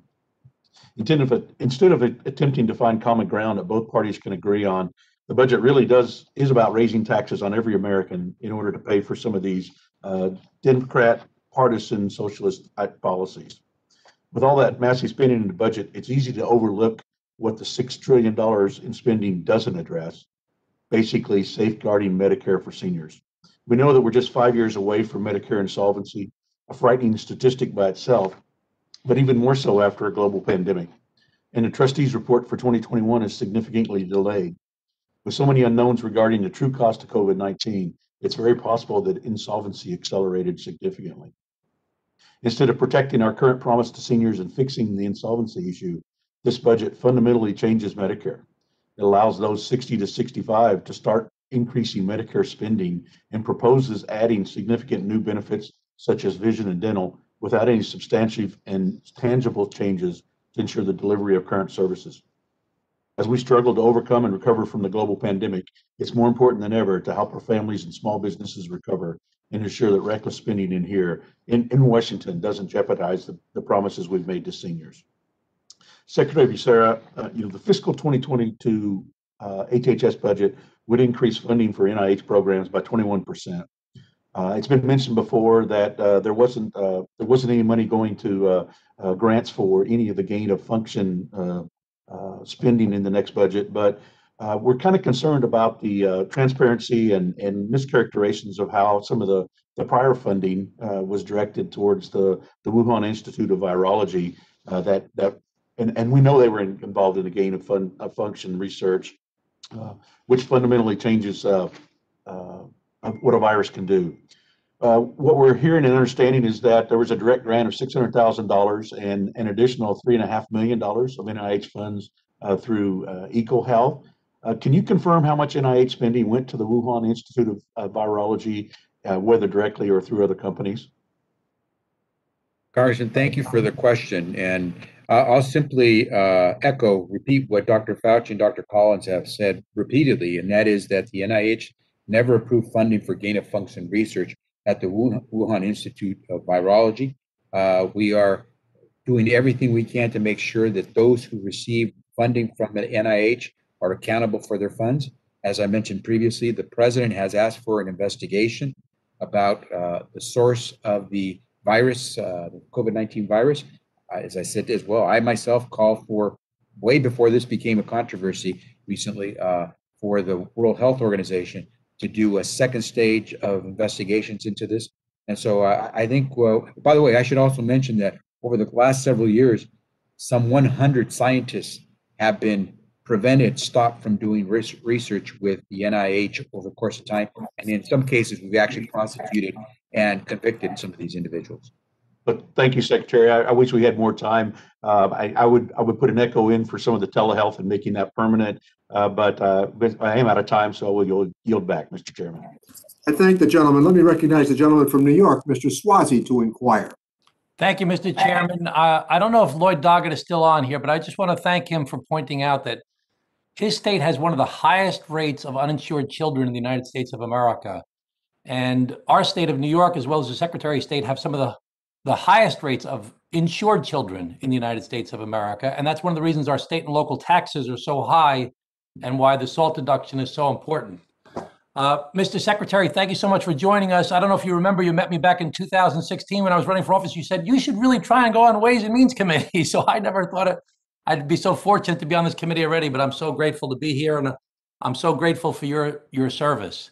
Uh, thanks for everything you've done to defend the Affordable Care Act in, in throughout your career. Uh, and I want to just bring up something that people don't talk that much about the Affordable Care Act. It's the consumer assistance programs. It was in the original Affordable Care Act to provide money for state programs, state uh, uh, based programs to help uh, consumers navigate the bureaucracy of health insurance. There's over 40 million denials of health insurance claims in 2019. Most people don't appeal that. Uh, my parents, I remember them dealing with the medical health insurance issues. It's so hard waiting on the phone, trying to navigate.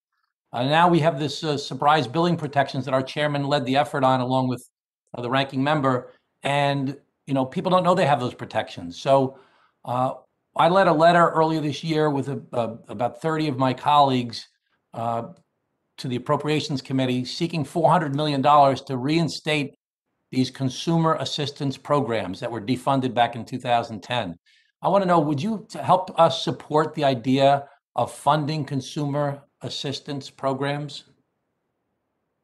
Congressman, first, great to see you and congratulations on being on a great committee with so many good colleagues. Uh, Absolutely, we support that. The- This administration has already made major investments. We have provided eightfold funding for the Navigator program, which helps a lot of consumers know what kind of pl- uh, plan or policy to secure under the Affordable Care Act. We're, we've expanded the uh, outreach and marketing of the Affordable Care Act plans to consumers. And the result is over a million Americans in the last three months have signed up for new plans under the Affordable Care Act exchanges.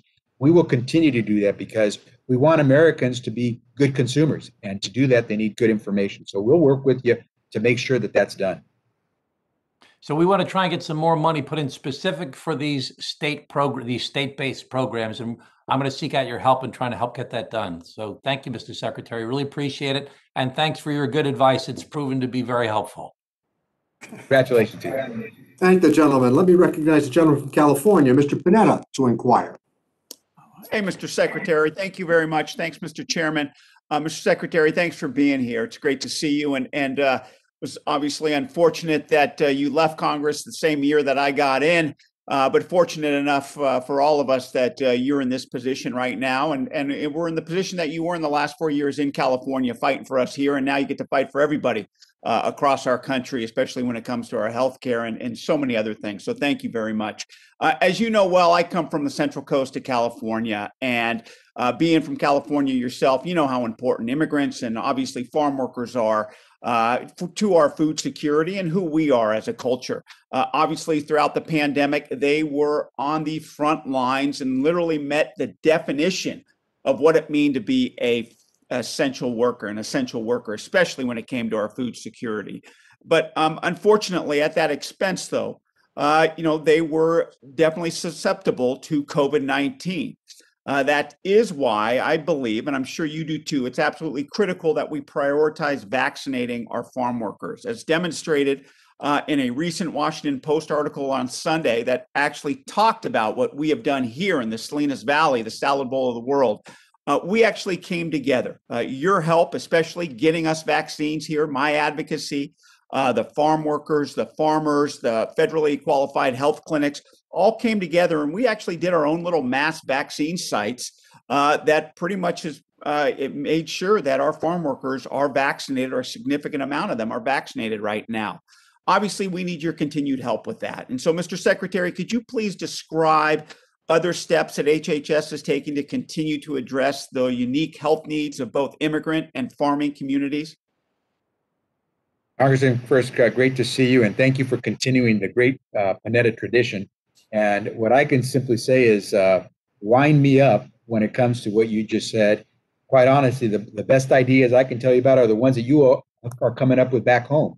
We want to piggyback on what you are doing because you know where your uh, families are that haven't been vaccinated. You know how to best reach them. You know who are, who are the most trusted voices, whether it's the clergyman or whether it's the wrestling coach or whether it's a neighborhood watch leader, you know who has the confidence of the people who are haven't yet vaccinated. And so we want to work with you. And when it comes to farm workers, my dad having been a farm worker at one point in his life, let me tell you, if you've got some more good ideas on how to reach them, we are there. We are there. Outstanding. Thank you, Mr. Secretary. And we do here, and we look forward to continuing to work with you. Um, obviously, a big issue uh, as we get out of this pandemic and get onto the road to recovery is childcare. And obviously, with the upcoming infrastructure package, uh, we want to make sure that we have certain infrastructure projects that address that. Can you share more about what sorts of physical infrastructure projects are needed to make childcare facilities safe, affordable, and all, more importantly, available to all families? There's some great ideas that are out there in our communities. And what we want to do at the federal level is not impose our idea. We want to support and fund the good ideas that are out there. And so once again, what I would say is because you know your district, we want to work with you so that the resources that we hope will become available, some of them already available through the uh, American Rescue Plan, But we hope the investments that would be made through the American Family Plan to help so many families to make sure kids have quality care uh, so their parents can work. We want to work with you because you know where the successful models are out there, and we want to make sure we're piggybacking so that they can grow. I was not long ago in Ohio visiting a tremendously effective childcare center. They need to grow because they do it the right way. And so we want to build on what there is that can help all American families. Thank you, Mr. Secretary. I yield back, Mr. Chairman. Thank you. Thank the gentleman. Uh, let me recognize the gentleman from Oklahoma, Mr. Hern, to inquire. Thank you, Mr. Chairman. This important hearing today, and, you know, one of the key, and, and and Secretary Becerra, congratulations. You know, one of the key congressional responsibilities in the Constitution is the power of the purse. Every day, Americans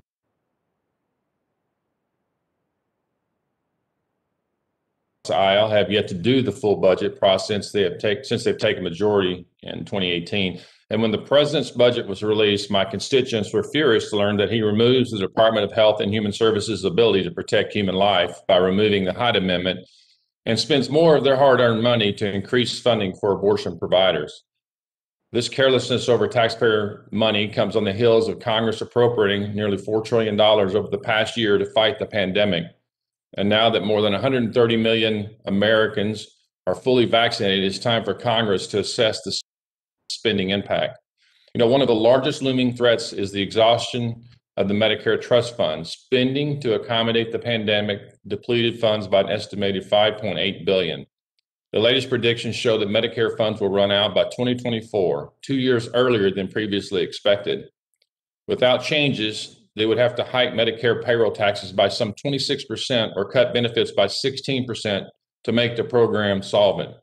In other words, according to the nonpartisan CBO, if Congress doesn't act, benefits will need to be cut by $1,000 per beneficiary in order for our kids and grandkids to have access to the program they help subsidize.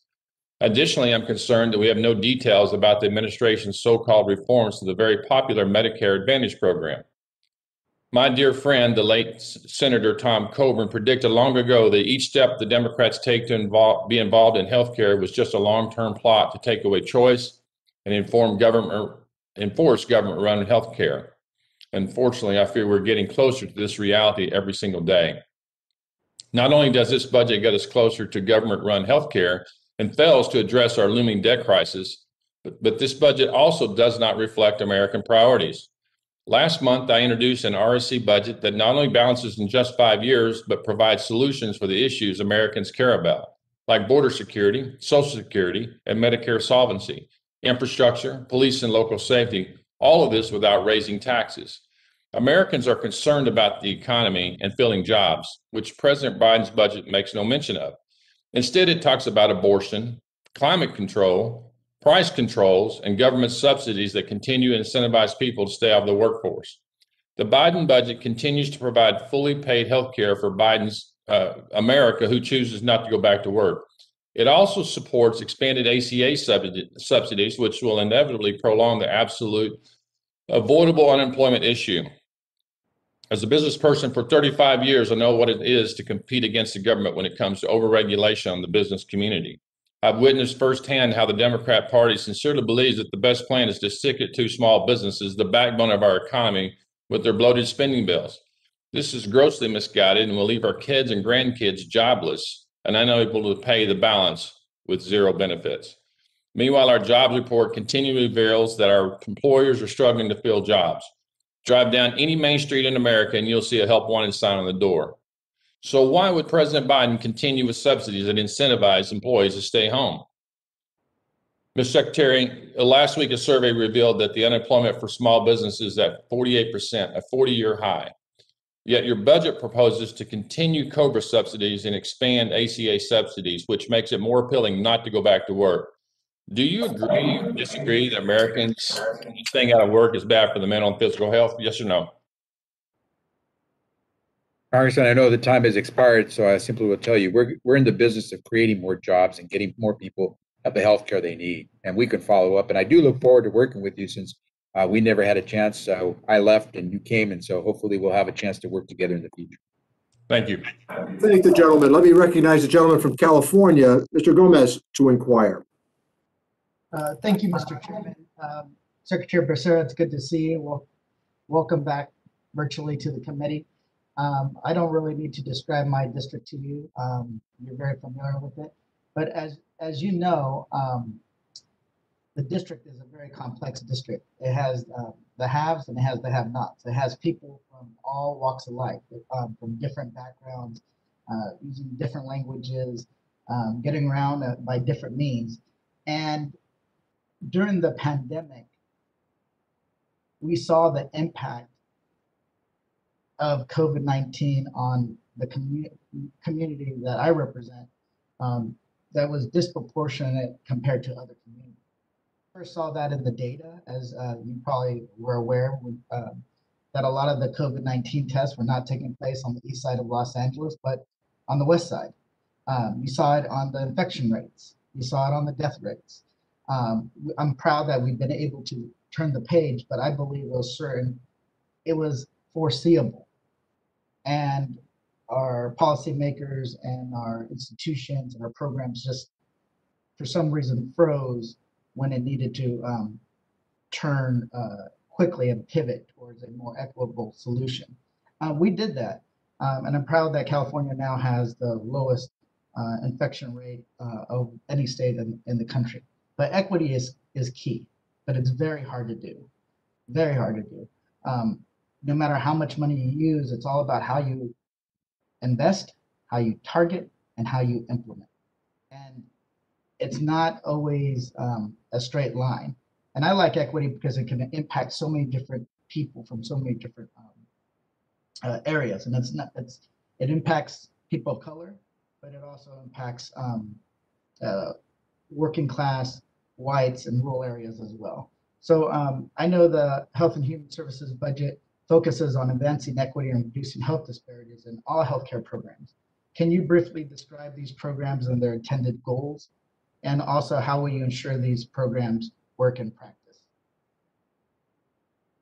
Congressman, first, great to see you. Uh, I see uh, that uh, that you those those digs look really familiar to me. Uh, that, that office of yours. So I, I hope you're taking good care of not just the office and your workers, but the district as well. Since uh, you've been able to come in and, and, do a phenomenal job as the member of Congress for that district after I left. Yeah, somebody uh, left me some nice furniture when I, I took over.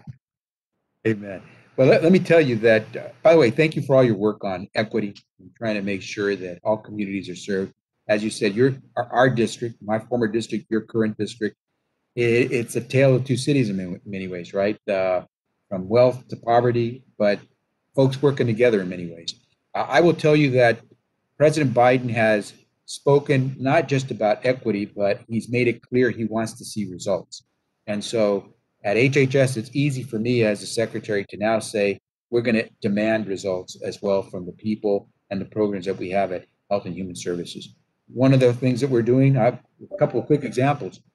The, the emphasis and the investment of real money into dealing with maternal mortality and morbidity.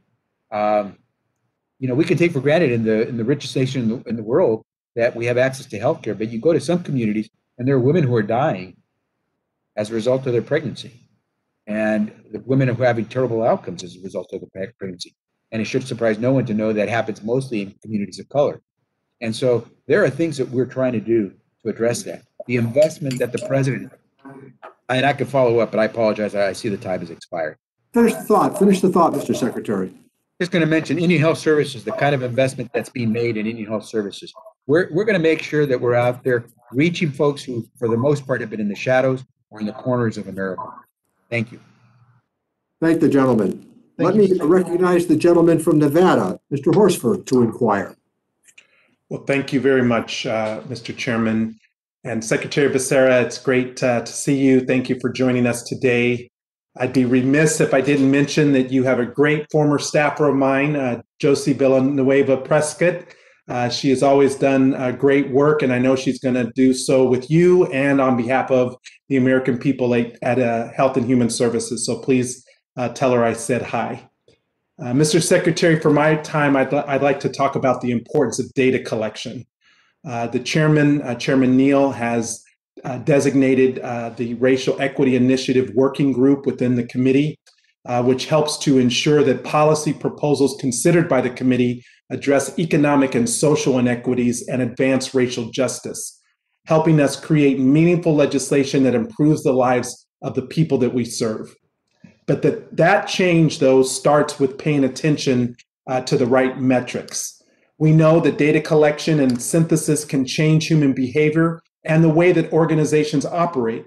Simply put, if we want to improve something, we need to be able to measure it accurately. And if we can measure equity accurately, then we can clearly see the progress that we're making over time. To do that, we need to measure what matters. And I'm talking about demographic data.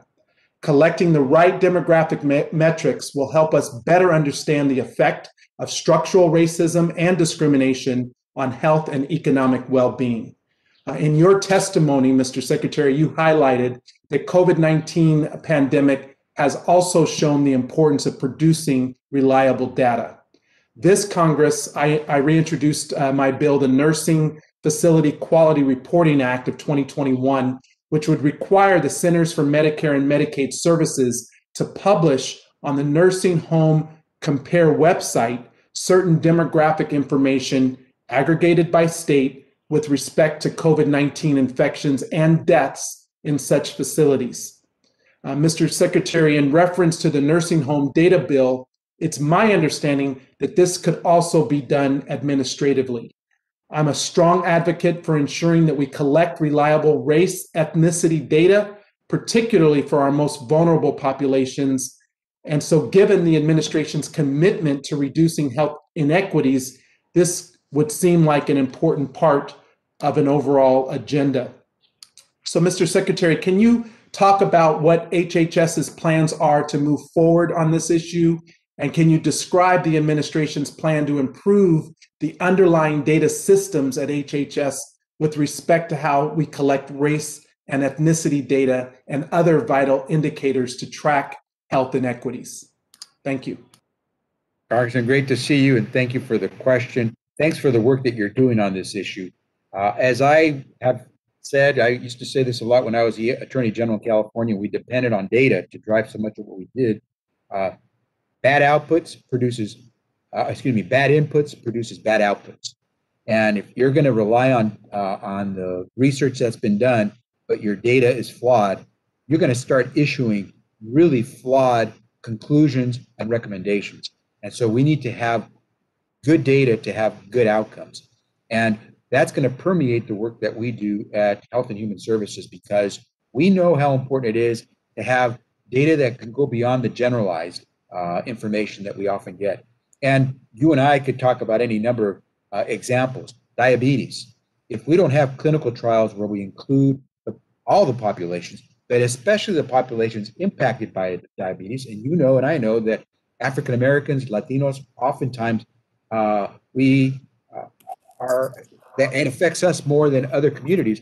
But if you don't have a, a clinical trial that includes surveys with those populations, your outputs, your results won't be very effective. So we need to work together to make sure we do this right. I thank the gentleman. Let me recognize the gentlelady from West Virginia, Ms. Miller, to inquire. Thank you, Chairman Neal and Ranking Member Brady. And thank you, Secretary Becerra, for being here today. It's so nice to be able to meet you. You know, we all can agree that we want the best healthcare outcomes for America and access for care for all of those who need it the most at the most affordable price. However, we seem to have very different ways of accomplishing these goals. And instead of a top down government centric approach outlined by the administration's budget, I think we should focus rather on the patients, the cures, and ensuring long term solvency for our healthcare system. Within this budget, the president has called on Congress to cut prescription drug prices. The plan, H.R. 3, would result in fewer cures, as many as 100 I've heard, from entering into the market. And this legislation would completely chill American innovation, actually raising prices on seniors and cost American lives. We cannot let such a disastrous piece of legislation reach the president's desk. The Republican solution of H.R. 19 would lower the cost of drugs. increase pricing transparency, and further American innovation. The COVID 19 pandemic has forever changed our healthcare landscape. Within West Virginia, who I represent, we saw many patients with increased access to care through telehealth.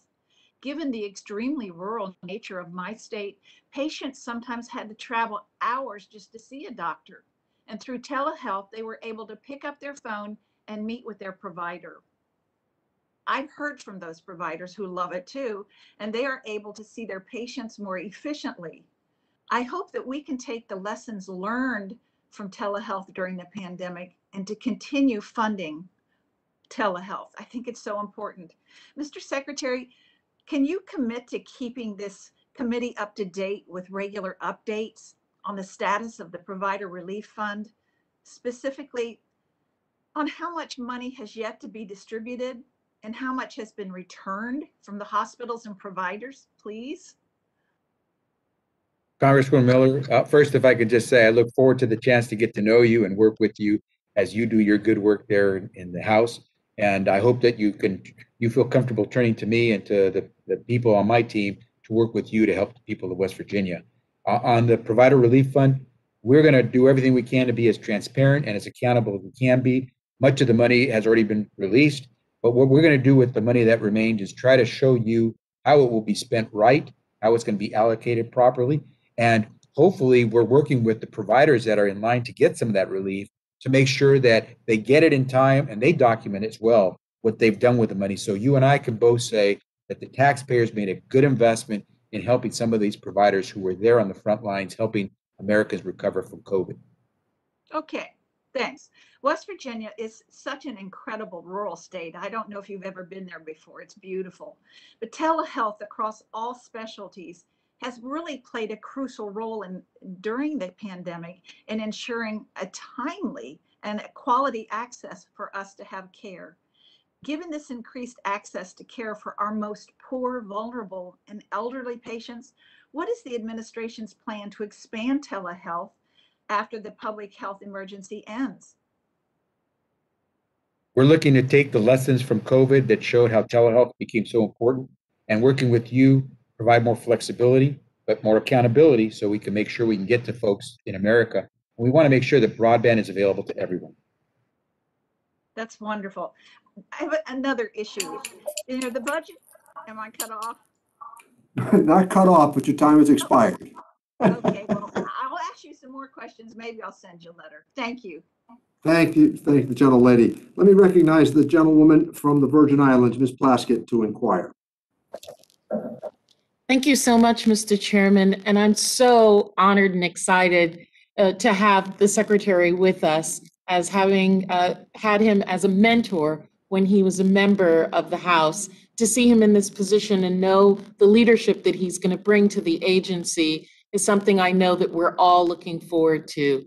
Um, Mr. Secretary, I had a number of questions for you uh, and just wanted to surmise some of them, summarize some of those uh, related to the territories, and hoping that you could give your commitment to work with our office and the other territories regarding healthcare disparities. As I'm sure you're aware, the territories are again in limbo as they face the upcoming fiscal cliff in Medicaid programs at the end of this fiscal year. Uh, the administration has done a great deal, and this Congress has supported the territories in eliminating the disparities that we have, not only in um, our funding caps, as well as in the share between the federal government and hospitals is, and um, local governments as well. But also, and one that we don't talk about as much, is the exclusion of the American residents living in territories excluded from low income subsidies for Medicare prescription drug benefits, as well as to the disproportionate share per hospital's DSH program under Medicaid and Medicare, in spite of the significant amount of uncompensated care um, and the number of individuals in rural areas in uh, the territories. And I was hoping that you would look at some of these issues and make a commitment with to work with our, my office as well as other territories in this committee to find permanent solutions to some of those uh, disparities? Congresswoman, first, uh, great to see you. Secondly, it was great to actually see you in person just a couple of weeks back. And I look forward to getting to do that more often. Uh, let me tell you, I, I think you know from my work when I was a colleague that the territories deserve to have our attention. You know that the president's budget has uh, support for eliminating the Medicaid funding caps for U.S. territories and tries to make sure we can align matching rates with states. Uh, and so we, I look forward to working with you because folks in the territories work very hard. We have to match that work effort to make sure we can address these needs. Thank you. Um, the other question I have is with regard to temporary assistance for needy families, TANF, and particular the national TANF issues.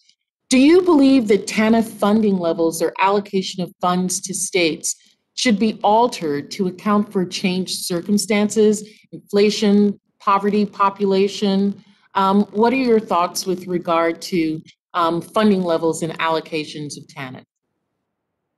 Congresswoman, TANF is a program that's supposed to meet the needs of our neediest families. And so we have to make sure that whatever our statutory framework is, or anything we do through regulations, it's directed at trying to meet the neediest families. Every once in a while, that means you probably have to make adjustments so that you refine your approach. And so we're more than willing to work with you and others if you think there's a better way to do this, because we want to make sure at the end of the day, our resources are reaching the most needy families. Well, you know, I know that this has been an issue during the pandemic as work requirements and time limits on age. Um, you know, should some TANF rules be suspended during the pandemic? But then once the pandemic ends, should those changes be made to work requirements to prompt states to engage additional unemployment recipients in activities? Or should the changes be made to alter the share of eligible families receiving assistance?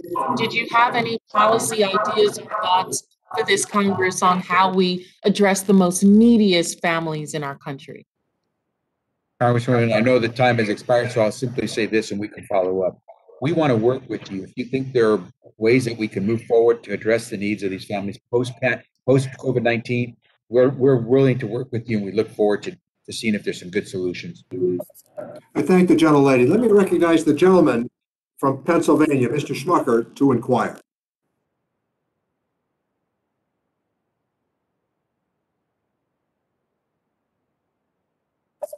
Would the gentleman on mute? There, can you hear me now? We can hear you. All right. Well, thank you, Mr. Chairman. Secretary, thank you for uh, testifying before us here today.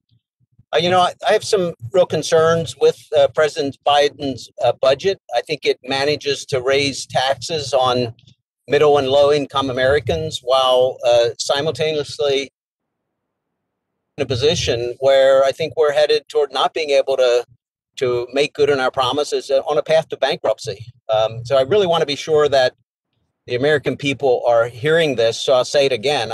This budget raises taxes on all Americans including those who the president said he wouldn't raise taxes on. And we know that uh, even the money raised through this is still not enough to pay for all the proposals in the budget. Uh, this budget includes a provision to create a public option, uh, coupled with the 163 billion in subsidies in the plan to uh, try to make uh, the Obamacare plans more affordable.